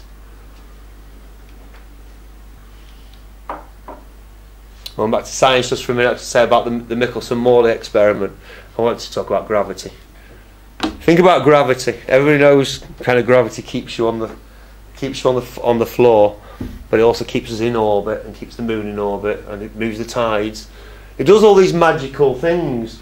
Nobody's ever explained it. Nobody's ever proved it. And if you think about it, if we're not on a spinning ball in a vast universe, and we're on just a big, massive fixed plane, and we've got head of bodies, you don't need gravity. You don't need gravity to explain anything. You only need it to explain why water curves onto a big ball and doesn't fly off like it does on a wet tennis ball. I need gravity for that. Um, I like about the moon, I know it's only 240,000 miles away from us, going round, and we're 93 million miles away from the sun, but we're kept in orbit to the sun by its gravity but at some point, surely the moon goes even nearer to the sun. So why doesn't the moon go over there? Why is it why is it attracted to our gravity and not the sun's gravity? I'll tell you why. Because the image that we have in our head is false. It was given to us by repeated programming and indoctrination. Um, okay. I like this one as well again, if you work it out, you have to kind of do the model for yourself. But if you're in, we're going allegedly going around the sun. So here's here's you in New York in June. Now every 24 hours you're going to do almost a complete rotation. You know it's 23 hours, 56 minutes, and this, that, and the other. Okay, again, so it tells. It's actually the, the rotation of the sun and the moon. But you're not going to be after six months completely your time is not going to, you know, that, that, that, that would be in the dark. Yeah? 24 hours, 24 hours, 24 hours, you're still going to be facing the same way at the same time. At 1 o'clock, 24 hours later, yeah, it's, it's not going to be night time, is it? Yeah? I don't know if you follow me, so I might be, need a little bit more explanation. Um, there's you in New York, and, you, uh, and obviously it's going to rotate and you're going to get however many hours a day and night. But 24 hours later at 1 o'clock, you'll have moved on a little bit, but at 1 o'clock it's still going to be daytime, you're not going to be in the night. That's true for the next day, the next day, the next day, the next day, the next day, 1 o'clock, 1 o'clock. You say, might change a couple of minutes. By the time you've got all the way over here, yeah, if we're on the other side of the sun, we're going to be in the dark at 1 o'clock. The hours don't change every 12 hours. It's a little bit, you have to, you have to think about, think about that one. It's not something I can um, you need to spend a little time thinking about it. But where, again, if we're on a, rotating Earth, 24 hours, every 24 hours it rotates and it moves a little bit around the sun. But by the time you're over there, you've not lost 12 hours so that you're in the darkness. I'll explain that a little bit, bit, bit better next time. But again, have a look for yourself. There's some actual there's some videos on YouTube. You can have a look, have a look at that. But again, a nice e- when you get your head around it, it's quite clear to see that um, you know, the, the, the, you know, you're not going to have darkness at one o'clock. That's just, you know, it's just a ludicrous thing to say. Again, you start off with what, what we know from our senses, from our own experience, and then what can we, what can we definitely deduce from there? Airy's failure. Again, a very famous experiment. Airy was a Royal Astronomer, Astronomer Royal in the 19th century. He put water in a telescope which slows the light down, um, and he basically wanted to see. Uh, what he, came as a failure as a null experiment because he basically got he, he got the result like Michelson Morley that the Earth can't be spinning, it must be the stars that are moving because the light from the stars slowed down. So you'd have to tilt the telescope slightly. Again, look into it yourself. You'd have to tilt the telescope slightly. If the Earth was moving and the stars were fixed, the, the telescope would have to be tilted slightly as the Earth moves every few minutes. As he didn't have to tilt the telescope at all, the starlights still came straight in. It must be the stars that were moving, not the Earth. Again, scientific experiment at the end of the 19th century. None of that gets done anymore. You won't get you don't you, you won't get grants for it. But Fred Hoyle himself, he said that the difference between heliocentrism and geocentrism is, is one of relative motion. We can't tell. Again, our own experience. We stand on a flat Earth and we see the sun go overhead every day, and we see the and we see the moon sometimes. Again, depending how clear it is. And then we see the stars. Not much in the city.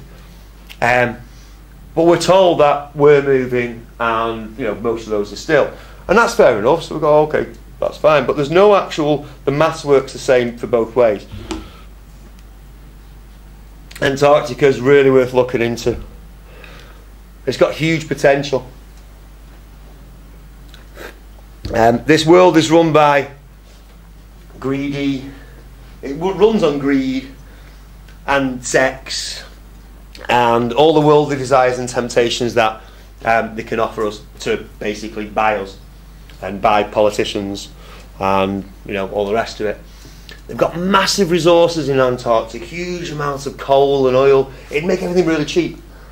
You're not allowed to go there. You're not allowed to drill. 58 countries have. Uh, sorry, uh, I'm not sure how many countries. I do apologise. They signed it in 1958. There's a treaty. There's an Antarctic treaty that you can't. No corporation, no big company that basically run the world. They can't go and drill there for oil or whatever. Mass, vast, vast mineral resources. Yeah.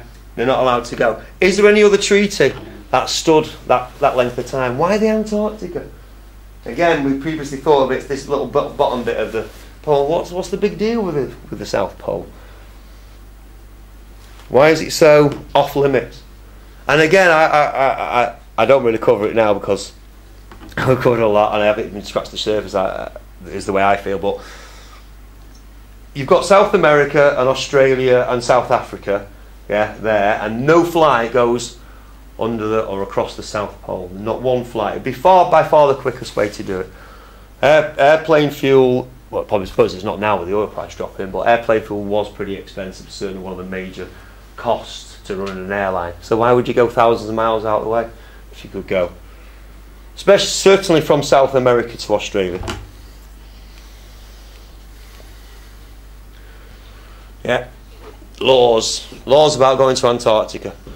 If we decided, yeah, you know what, let's club together, let's go and see for ourselves, get a big boat, we'll do it in style, we'll do the luxury, whatever, and we'll go and see for ourselves what's going on there. Anywhere we wouldn't be able to go.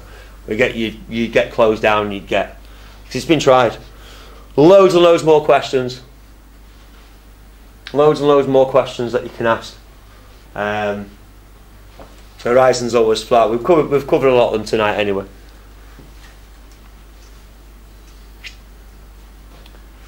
Done that one, done that one, done that one.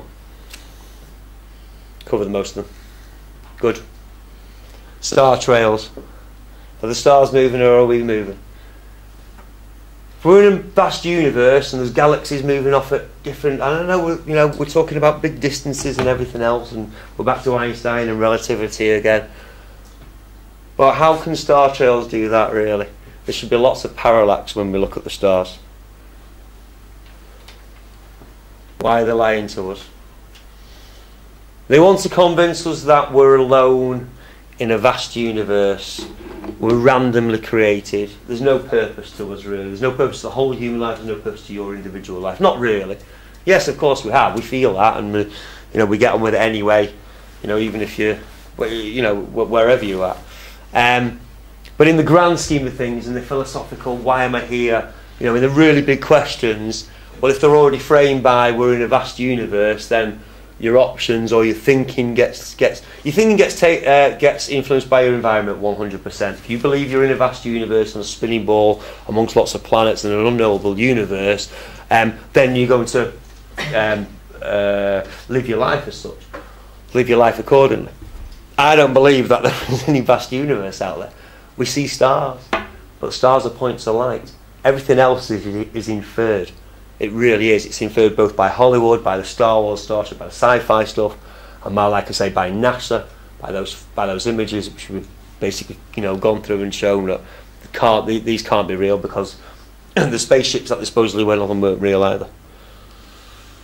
I love this quote. By removing Earth from the motionless sense of the universe, these dark philosophers who we've talked about have moved us physically and metaphysically from a place of supreme importance to one of complete nihilistic indifference. Does that not sound most of the world today, the kids that are coming up today, the things that are shown, the attitudes that they have?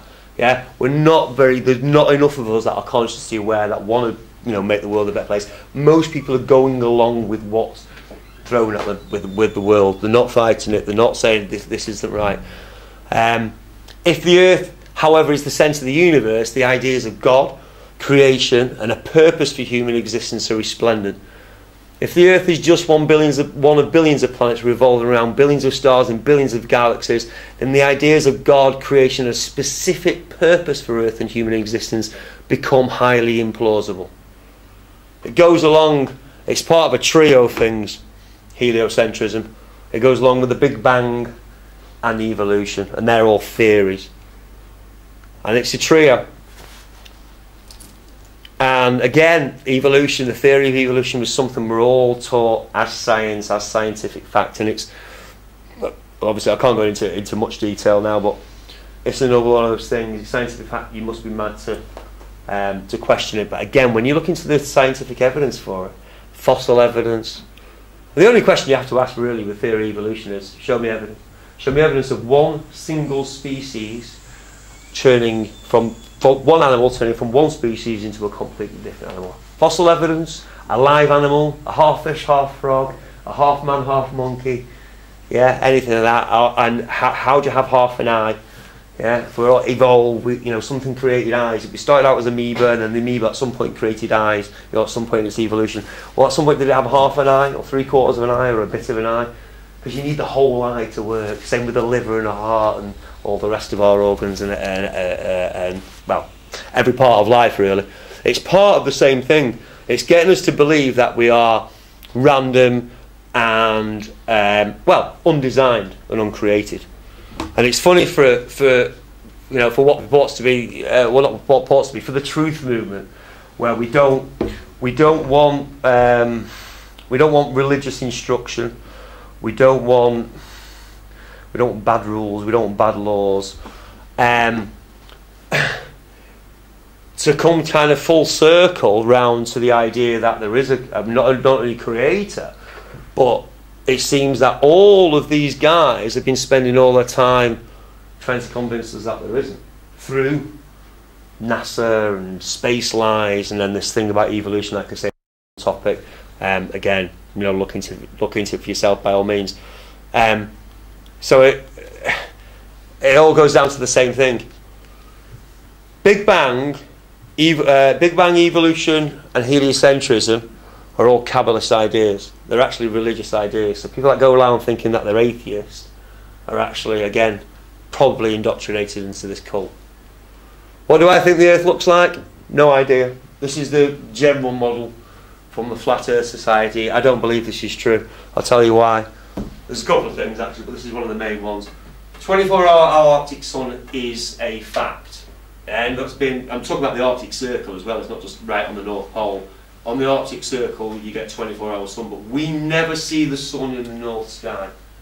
Yeah? Anyone that's looked into this flat Earth model will say the sun goes round and round and round and round, it goes tighter for our northern summer, and then goes away again as it's doing now for the southern winter. And I, I, I believe this model for a little while, but we could never figure out, hang on a minute, So there's the Arctic sun. It must go really tight to never go down. But if we're living here, we never see the sun in the North Sky. Yeah. And the models from the Flat Earth Society. It's also the UN map. So again, they have the main idea, but they also control the opposition. They also control the the, the secondary, as far as I'm concerned, as well. Um, ancient Hebrew conception. You could also say the ancient Sumerian conception as well.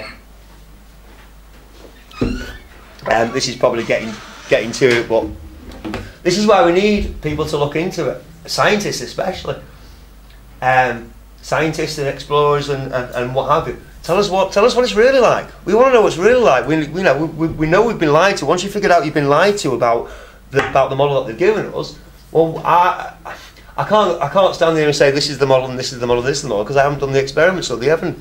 With, so we can break down the old model, but let's get together and find out what the new model is, or what the real model is, not the new model, what the real model is. So fixed plane Earth, it's got mountains and what have you. It's a firmament, a dome above it. Again, the only the only evidence that there is some kind of limit to to the sky is the fact that we obviously haven't been beyond it. There's no evidence. There's no actual hard evidence for it. Where I'm at now, this is probably the closest, and it's the map that we're all kind of used to. Um, the, the the Atlas kind of map. The only problem with um, the model that I've got in my head at the moment, and I'm not saying this is the model and I'm fixed on it. If somebody comes up and as soon as people come up with new information, I'm open to change, and that's how we should be. Um, is that it does fit perfect together. Remember the old BBC rolling logo? Yeah, you can, you can do it for yourself. I took about three, and it's seamless. It's seamless. There's no joins in it whatsoever. So Here's me saying, uh, I think the spinning ball Earth is just made up, but I think, and again, it wouldn't work if you could prove it uh, one way or the other. But the sun rises in the east, yeah. Okay, we'll go further north and further south from the equator as it goes along. It goes along, lights up the day, yeah, and we can get we can look at this one time and date as well. Lights up the day. When it goes to the west, that's the international date timeline. I think it appears straight away at the east again. There's no way of proving it. It's an infinite, it's, it's an infinite space loop, and if it didn't work properly, you'd notice. It'd be like the Bermuda Triangle or something. It's only where I'm up to so far. Yeah, but the problem. This is the other problem with this. All you know, the the, the, the flat Earth movements map is they've got Australia as big as Russia, as long as Africa. Yeah, the, the masses are completely wrong.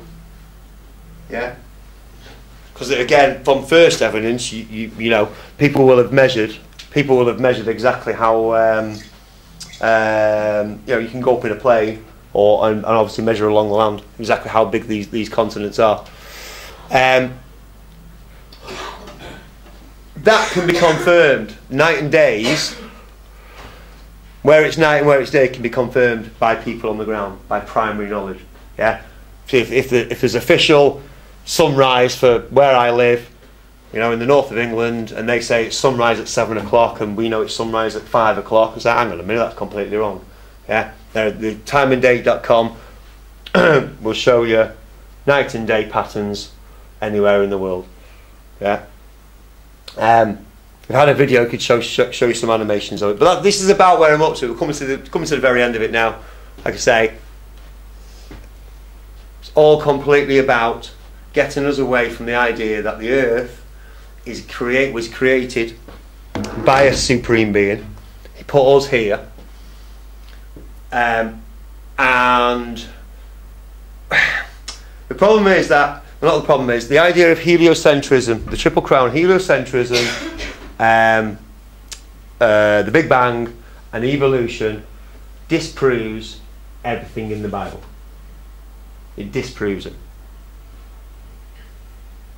But for myself, if I've done the research and gone, hang on a minute, evolution's okay, flattered the, the globe Earth, the heliocentrism is just completely fallen apart. And there's no Big Bang. Something can't come out of nothing anyway. It's completely scientific, which is why I say it's come from Kabbalism. Well, that puts the Bible back on the table for me. Because people ask why the flat earth. There's two things people say. One, it's a psyop. It can't be a psyop, can it? It can't be a psyop if they're not mass doing it. It's come. This is this is generally come from the ground up. But the other thing is, what does it matter? What does it matter if it's flat or round or triangle or square?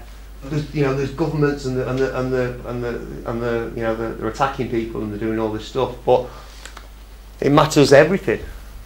It matters everything. It's a, it's a, if it comes down to who we really are, what we're really doing here. The big philosophical questions that every single person asks themselves, whether they, whether they admit it or not, every single person really asks themselves, what am I doing here? Is there a God or isn't there? Why is all religious instruction terrible? Why does no religious instruction ever bring anybody close to God or being godly? You know, the religions act terribly. They really do. But this is the this is the key for me because I wasn't brought up religious. In fact, I was atheist up until six years ago. This is the key for me, realising that they've lied about this. The size of the deception. Yeah, that they've got us all believing we're on a spinning ball earth. And really, when you go outside and you actually look for yourself and you trust your own senses instead of what they've told us, and you go, this place isn't spinning around at a thousand miles an hour. Yeah, worse still, everything's here for us. The sun and the moon and the stars are a magnificent timepiece that have been created by the Creator, by a God who loves you and loves all of us and that's why he's created that timepiece for us.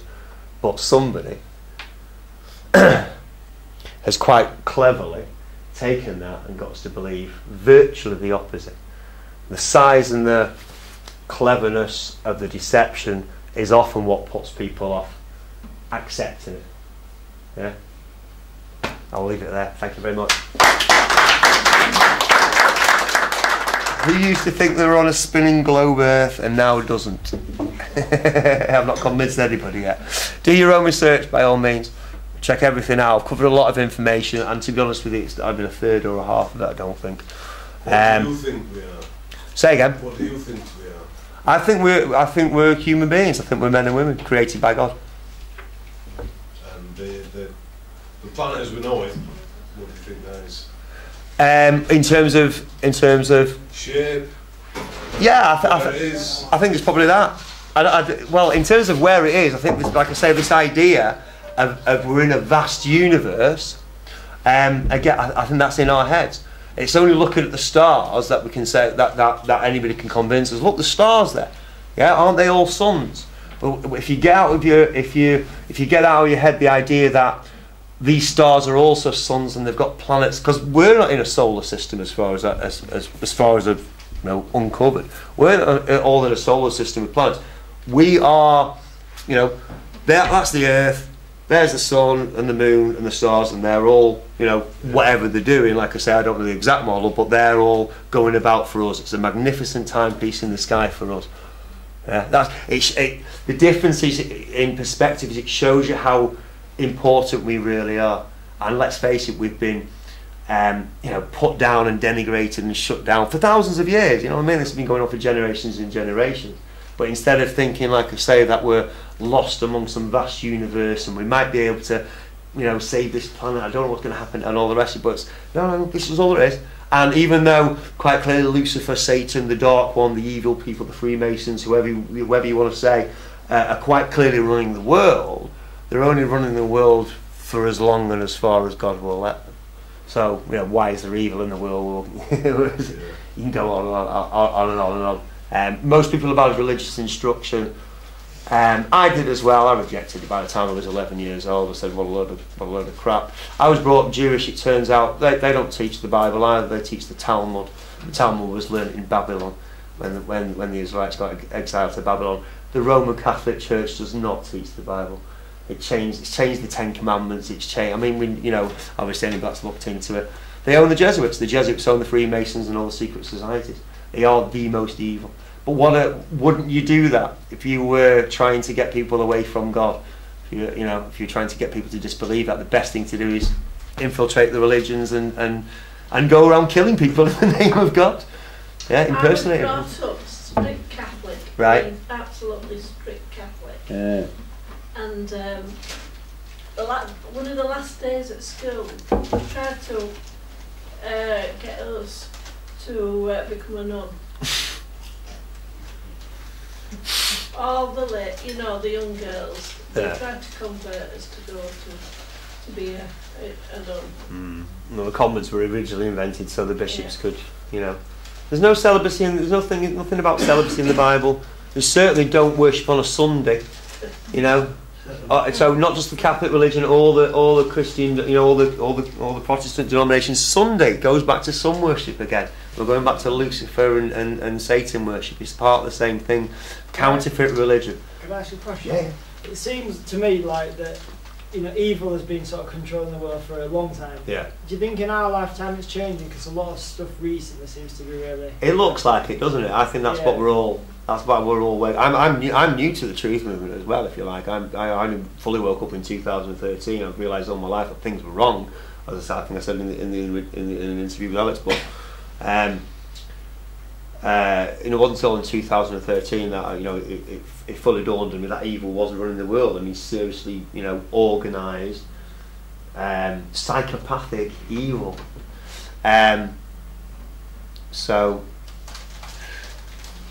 there seems to be. I mean, this this particular topic and movement does seem to be growing, you know, exponentially at a faster rate than anything else. But you don't know, you know. I mean, I I see people say the same things in the flat Earth groups that people will say. People will say about all kinds of, you know, everyone's going to get the truth now. Everyone's going to find this out and what and, and everything else. And it quite clearly doesn't happen because if they've spent thousands of years raising this system of politics and banking and finance and media and education and every aspect of our lives, um, it's not going to fall apart by even a hundred or a thousand or a hundred thousand people. Um, uh, you know, leaving it, which would be the best thing that you can do. I, I, I, now believe. Um, are we going to see see in our lifetime? I keep saying one generation. I mean, I don't know if people were um, looking at the September, September the 23rd and 24th and 28th and all that. I mean, the overhype sort of give it, you know, kind of gives it away in, in the first place. And you're like, well, something might happen, something might not. I certainly kept my, my eye on the stocks and make sure, obviously, if there's going to be a financial crash, let's you know go out and buy as many tins as you can possibly can. But apart from that, it was we're doing everything up front. It was the Pope going to the UN, signing off the climate change agenda. That fits in with that that the, the, the climate change and the global warming and all the rest. It fits in with you know the, the flat Earth realization as well, the fixed Earth realization as well. So is all the aliens, everything alien. I used to. I mean, I don't even know. If, I don't think they need Project Bluebeam. You know, I, when I first discovered the flat Earth, I thought, well, it's okay. Well, Project Bluebeam's for definite. Then there definitely be some alien deception. Uh, you know, either saviour more than Independence Day. They're coming to invade us, and we all have to, you know, get together. Well, that's one way to bring about a, a one world government. Um, you know, to have a constant, you know, threat from Pluto, I suppose, or or wherever they're going to bring the aliens from. Um, but they don't need it. I say, as long as people are uh, 100% fixed in this idea that there's basically the, the there's no God and there's no purpose to their lives, and we are at the mercy of a random forces, um, and you know the rulers the rulers whims. You know, people feel people do feel helpless. I think people are way more. You know, I think people are very aware that there's something seriously wrong when when people aren't getting done for child rape and all the rest of it. You know, and they're establishment figures. If it was you or I, and obviously we wouldn't be child rapers in the first place because we're not psychopathic Luciferian Babylonian child sacrifices. But and you know, if you committed a crime, you you, you know damn well you'd be in, you'd, you'd be charged, you'd be you'd be tried, you'd be in prison very very quickly, and rightly so. You know, but there's a second set of there's a there's a second class of or a first class, if you like, of, of, of individuals, and there's millions of them, um, and they seem immune from the law, and that's not right. You know, the, we don't have justice. We don't have the things that we say that we do, and it all fits in because we're all part of this Babylonian cult. And I say Babylonian, you can call it satanic, you can call it Luciferian. It's a counterfeit religion. Um, you know, uh, the prevailing philosophy of the day, and it's very popular the truth movement and the New Age kind of thing is, you know, you, you can be your own God, we can be our own saviours. Um, that we have it our, in ourselves to fully evolve uh, to the next level of consciousness. And I certainly thought that way up until very recently, six, nine months ago. Um, but nobody's, I've never seen anybody create uh, you know, apart from the usual way that we create life, but no man or scientist has created life from scratch out of nothing. You know, but yet life exists. So how can those two things, you know, well, those two things should, you know, certainly give us pause for thought. Um, It's different. I, you know, I, I, when I used to read the Bible or religion, it's just a, such a turn off. It's an immediate turn off. That's again a good job. That's a brilliant job of programming. You mentioned the word Jesus. You, I've watched enough South Park episodes now, and you know, and all the rest of it. It's, it's a joke. You know, it's a joke figure, um, and all the rest of it. But Satan runs the world, and we all think like that. You know, we all think ah, it's all you know, what have you. Then you've got to take a second look at it. I think anyway. I could I could rant on for ages. any more questions specific to the flat Earth? Any any you know? Yeah, um, satellite dishes that we have on our houses. Yeah. Most of, or the vast majority of houses in the UK, I would say 80% going on, have a satellite dish. Now, I've looked on Wikipedia recently, and it gives a very clear, um, non-confusing explanation that that is communicating with an orbiting satellite. So why then do they all have to be at a low trajectory, at a shallow um, angle, Hmm. and all point in the same direction? Because surely, if they were communicating that something that was above us in Earth's orbit, You do a job real bad, it, wouldn't it it? would just be Mm. up, wouldn't it, on Yeah. our roofs or Yeah. on, you know, pointing. Why does it have to be at a shallow trajectory and they're all on the same street at least, Yeah. but pointing yeah, the same oh, way? yeah. Well, they're, they're virtually horizontal, aren't they? Well, they're at a very shallow, uh, shallow angle. Yeah, I mean, it, it, it, um, it's part of the, uh, the the other one I mentioned as well. Um, they're obviously pointing to the towers, aren't they? Yes. They're obviously pointing to, to cell towers to. Because that's the you know people say G well hang on my GPS works. Um, although GPS has been around since the seventies, so I'm pretty sure there wasn't that many satellites up there at the time. But your GPS works from uh, uh, cell phone towers. Three cell phone towers will triangulate your position. Because if it worked off satellites, well, if your mobile worked off satellites anyway, you wouldn't lose your signal in the middle of the countryside, you know, or the middle of the desert or wherever. You know, you, but, you know, you lose your signal. We're covered with satellites, then you know you should be should be blanket coverage everywhere. Um, things work. This is what happens. You see, and that's. You know, people go, well, you're saying science doesn't work, and you're talking to me on the internet. You know, how, how can we not have gone to the moon if you're talking to me on the internet? You know, one thing doesn't necessarily follow the other, and just again because the technology works, uh, or we've got new technology. You know, I mean, maybe they spent some of the billions of dollars that they've stolen off us, um, actually on you know, you know, producing some decent technology. I think you've given us loads of evidence, actual physical proof, Okay. and it was really interesting the part where you were speaking about New York at one o'clock, Right. and then the other side of the sun, Yeah. you'd be in the dark, Yeah.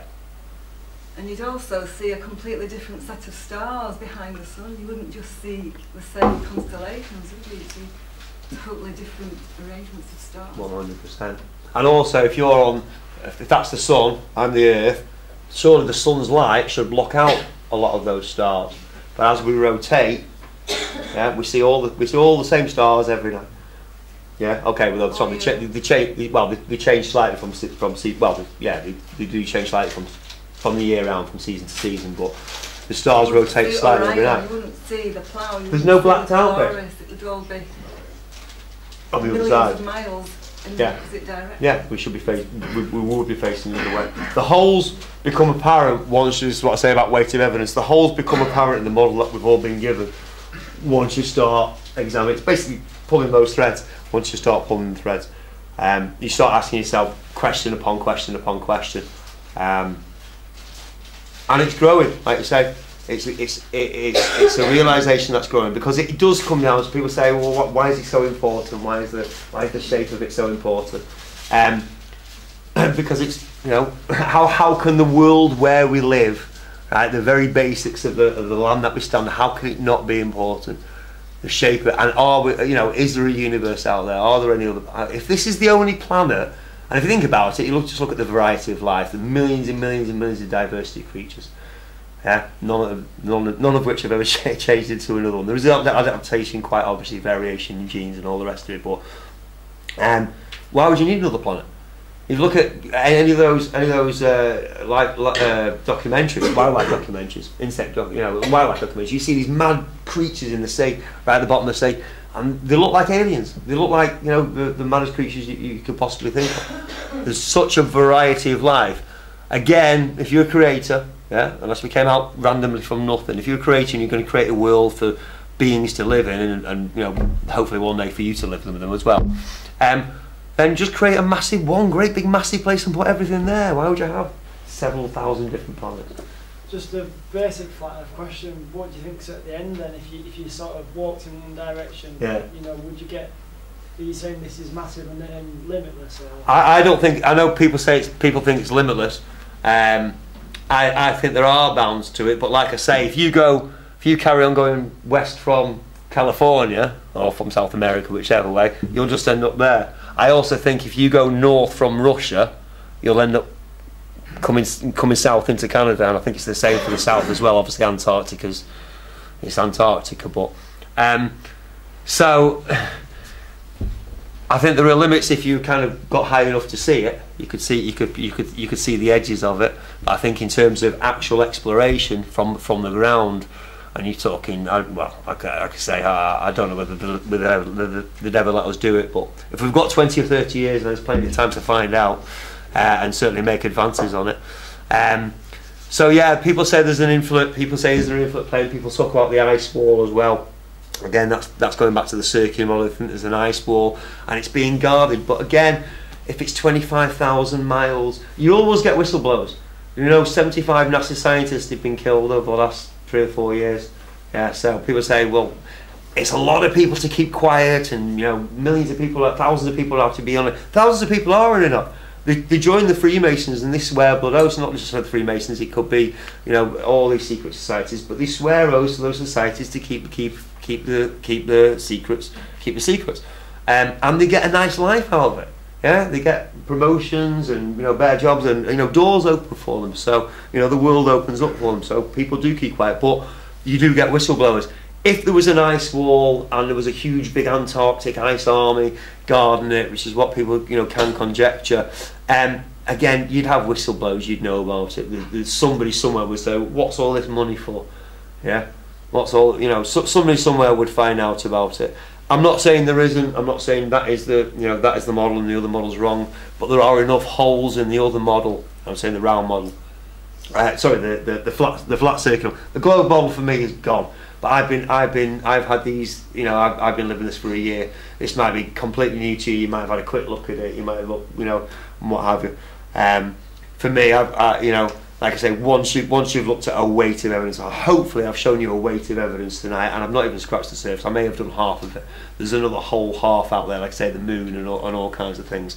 But if I've shown you enough um, to certainly pique your interest and see the size of this massive deception, then you know I've done my job and it's been a worthwhile evening. Anything So else? they certainly had a goal, didn't they, in the in the fifties. If, if there is a firmament covering the flat Earth with the nuclear testing, where they were just basically firing up in the in the, in the sky, weren't they? So, I would have missed out. which might have been in, stupid, actually, a stupid thing to do. That might be where, that might be where meteors come from. See, there's there's things that I, I don't know and I can't explain yet, and, and you know th- there's certainly no, ano- anomalies. And what, what about this and what about that? But that's the idea is you know for, for people to ask questions and research Um, them, them I've got a themselves. question. The official line is the Earth's atmosphere moving with the spin of the Earth. Yeah, That's the official line. Yeah. Okay, so when when a space rocket or a shuttle leaves the Earth's atmosphere Mm. and then it comes into a vacuum where there isn't 1,036 miles an hour of spin, Mm. wouldn't that have some sort of effect on the rocket? You know, akin to tra- traveling down the motorway at 70 miles an hour and throwing something out and watching the object just go from one speed and decelerating massively. Surely, a something like a space rocket that hasn't got that much shielding. I mean, it's only it's a tin two and a can, half- Yeah, really. or, or a shuttle. Once it leaves the Earth's atmosphere and then um, goes uh, without the spin, surely that's going to do something.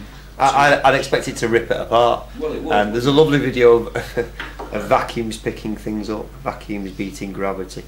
But apparently our atmosphere is held in by well, only gravity and, and the vacuum and the pressure and I mean uh, you know I, I, I might be showing my uh, ignorance of the official scientific line there I would imagine I am um, but it, it, it can't be confirmed by actual scientific experiments or actual personal observation.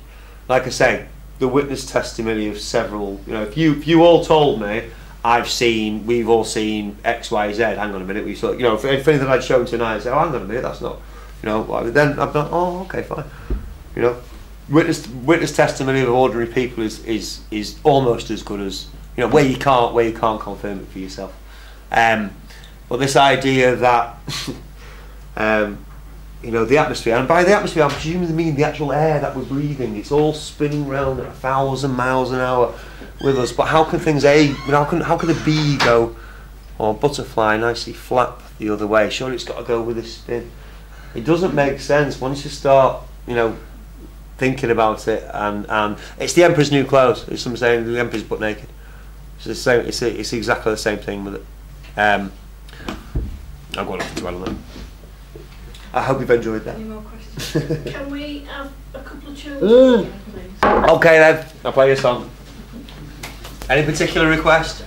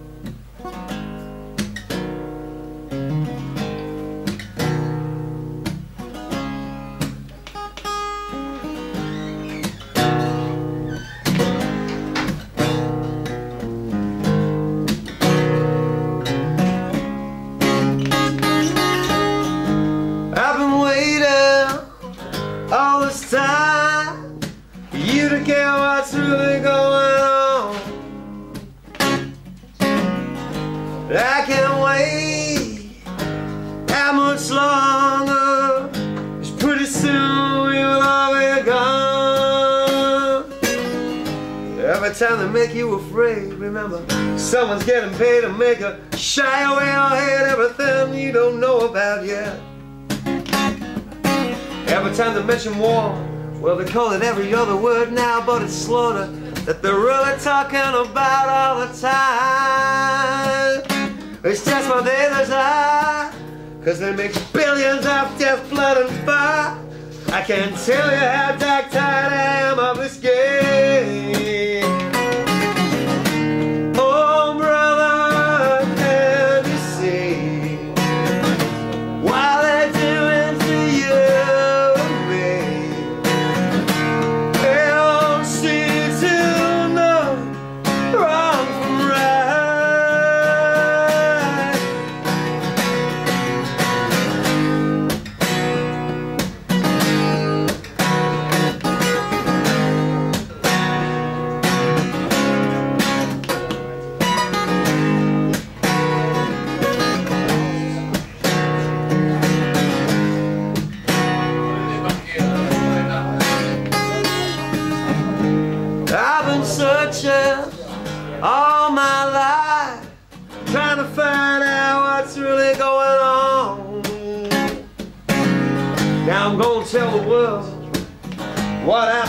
Out, cause I have every right to know all this stuff as well. Oh, listen now, they're replacing the food with some synthetic viruses and glue. It might be more usefully described as poison. Rain the skies, don't know why. See with your own eyes, oh, they still try to deny what's going on up there.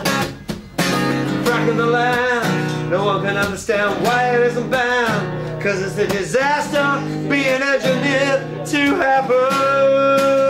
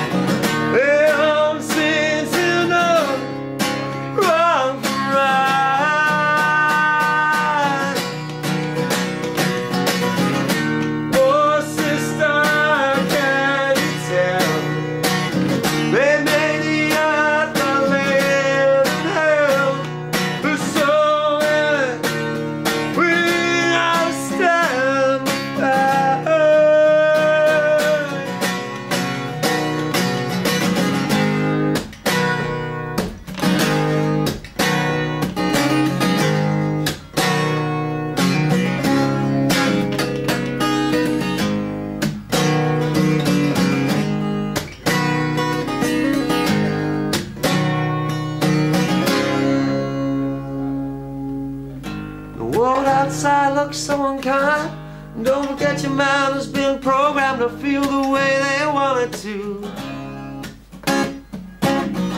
You remember 1984 or Nazi Germany before? Cause that's the state we're living in right now. Yeah, watching every move you make. If you think you're free, well, that's a big mistake. Cause your whole life is controlled right from the cradle to the grave. Just a free range slave, stealing our best days, taking us away from everything and everyone we really love.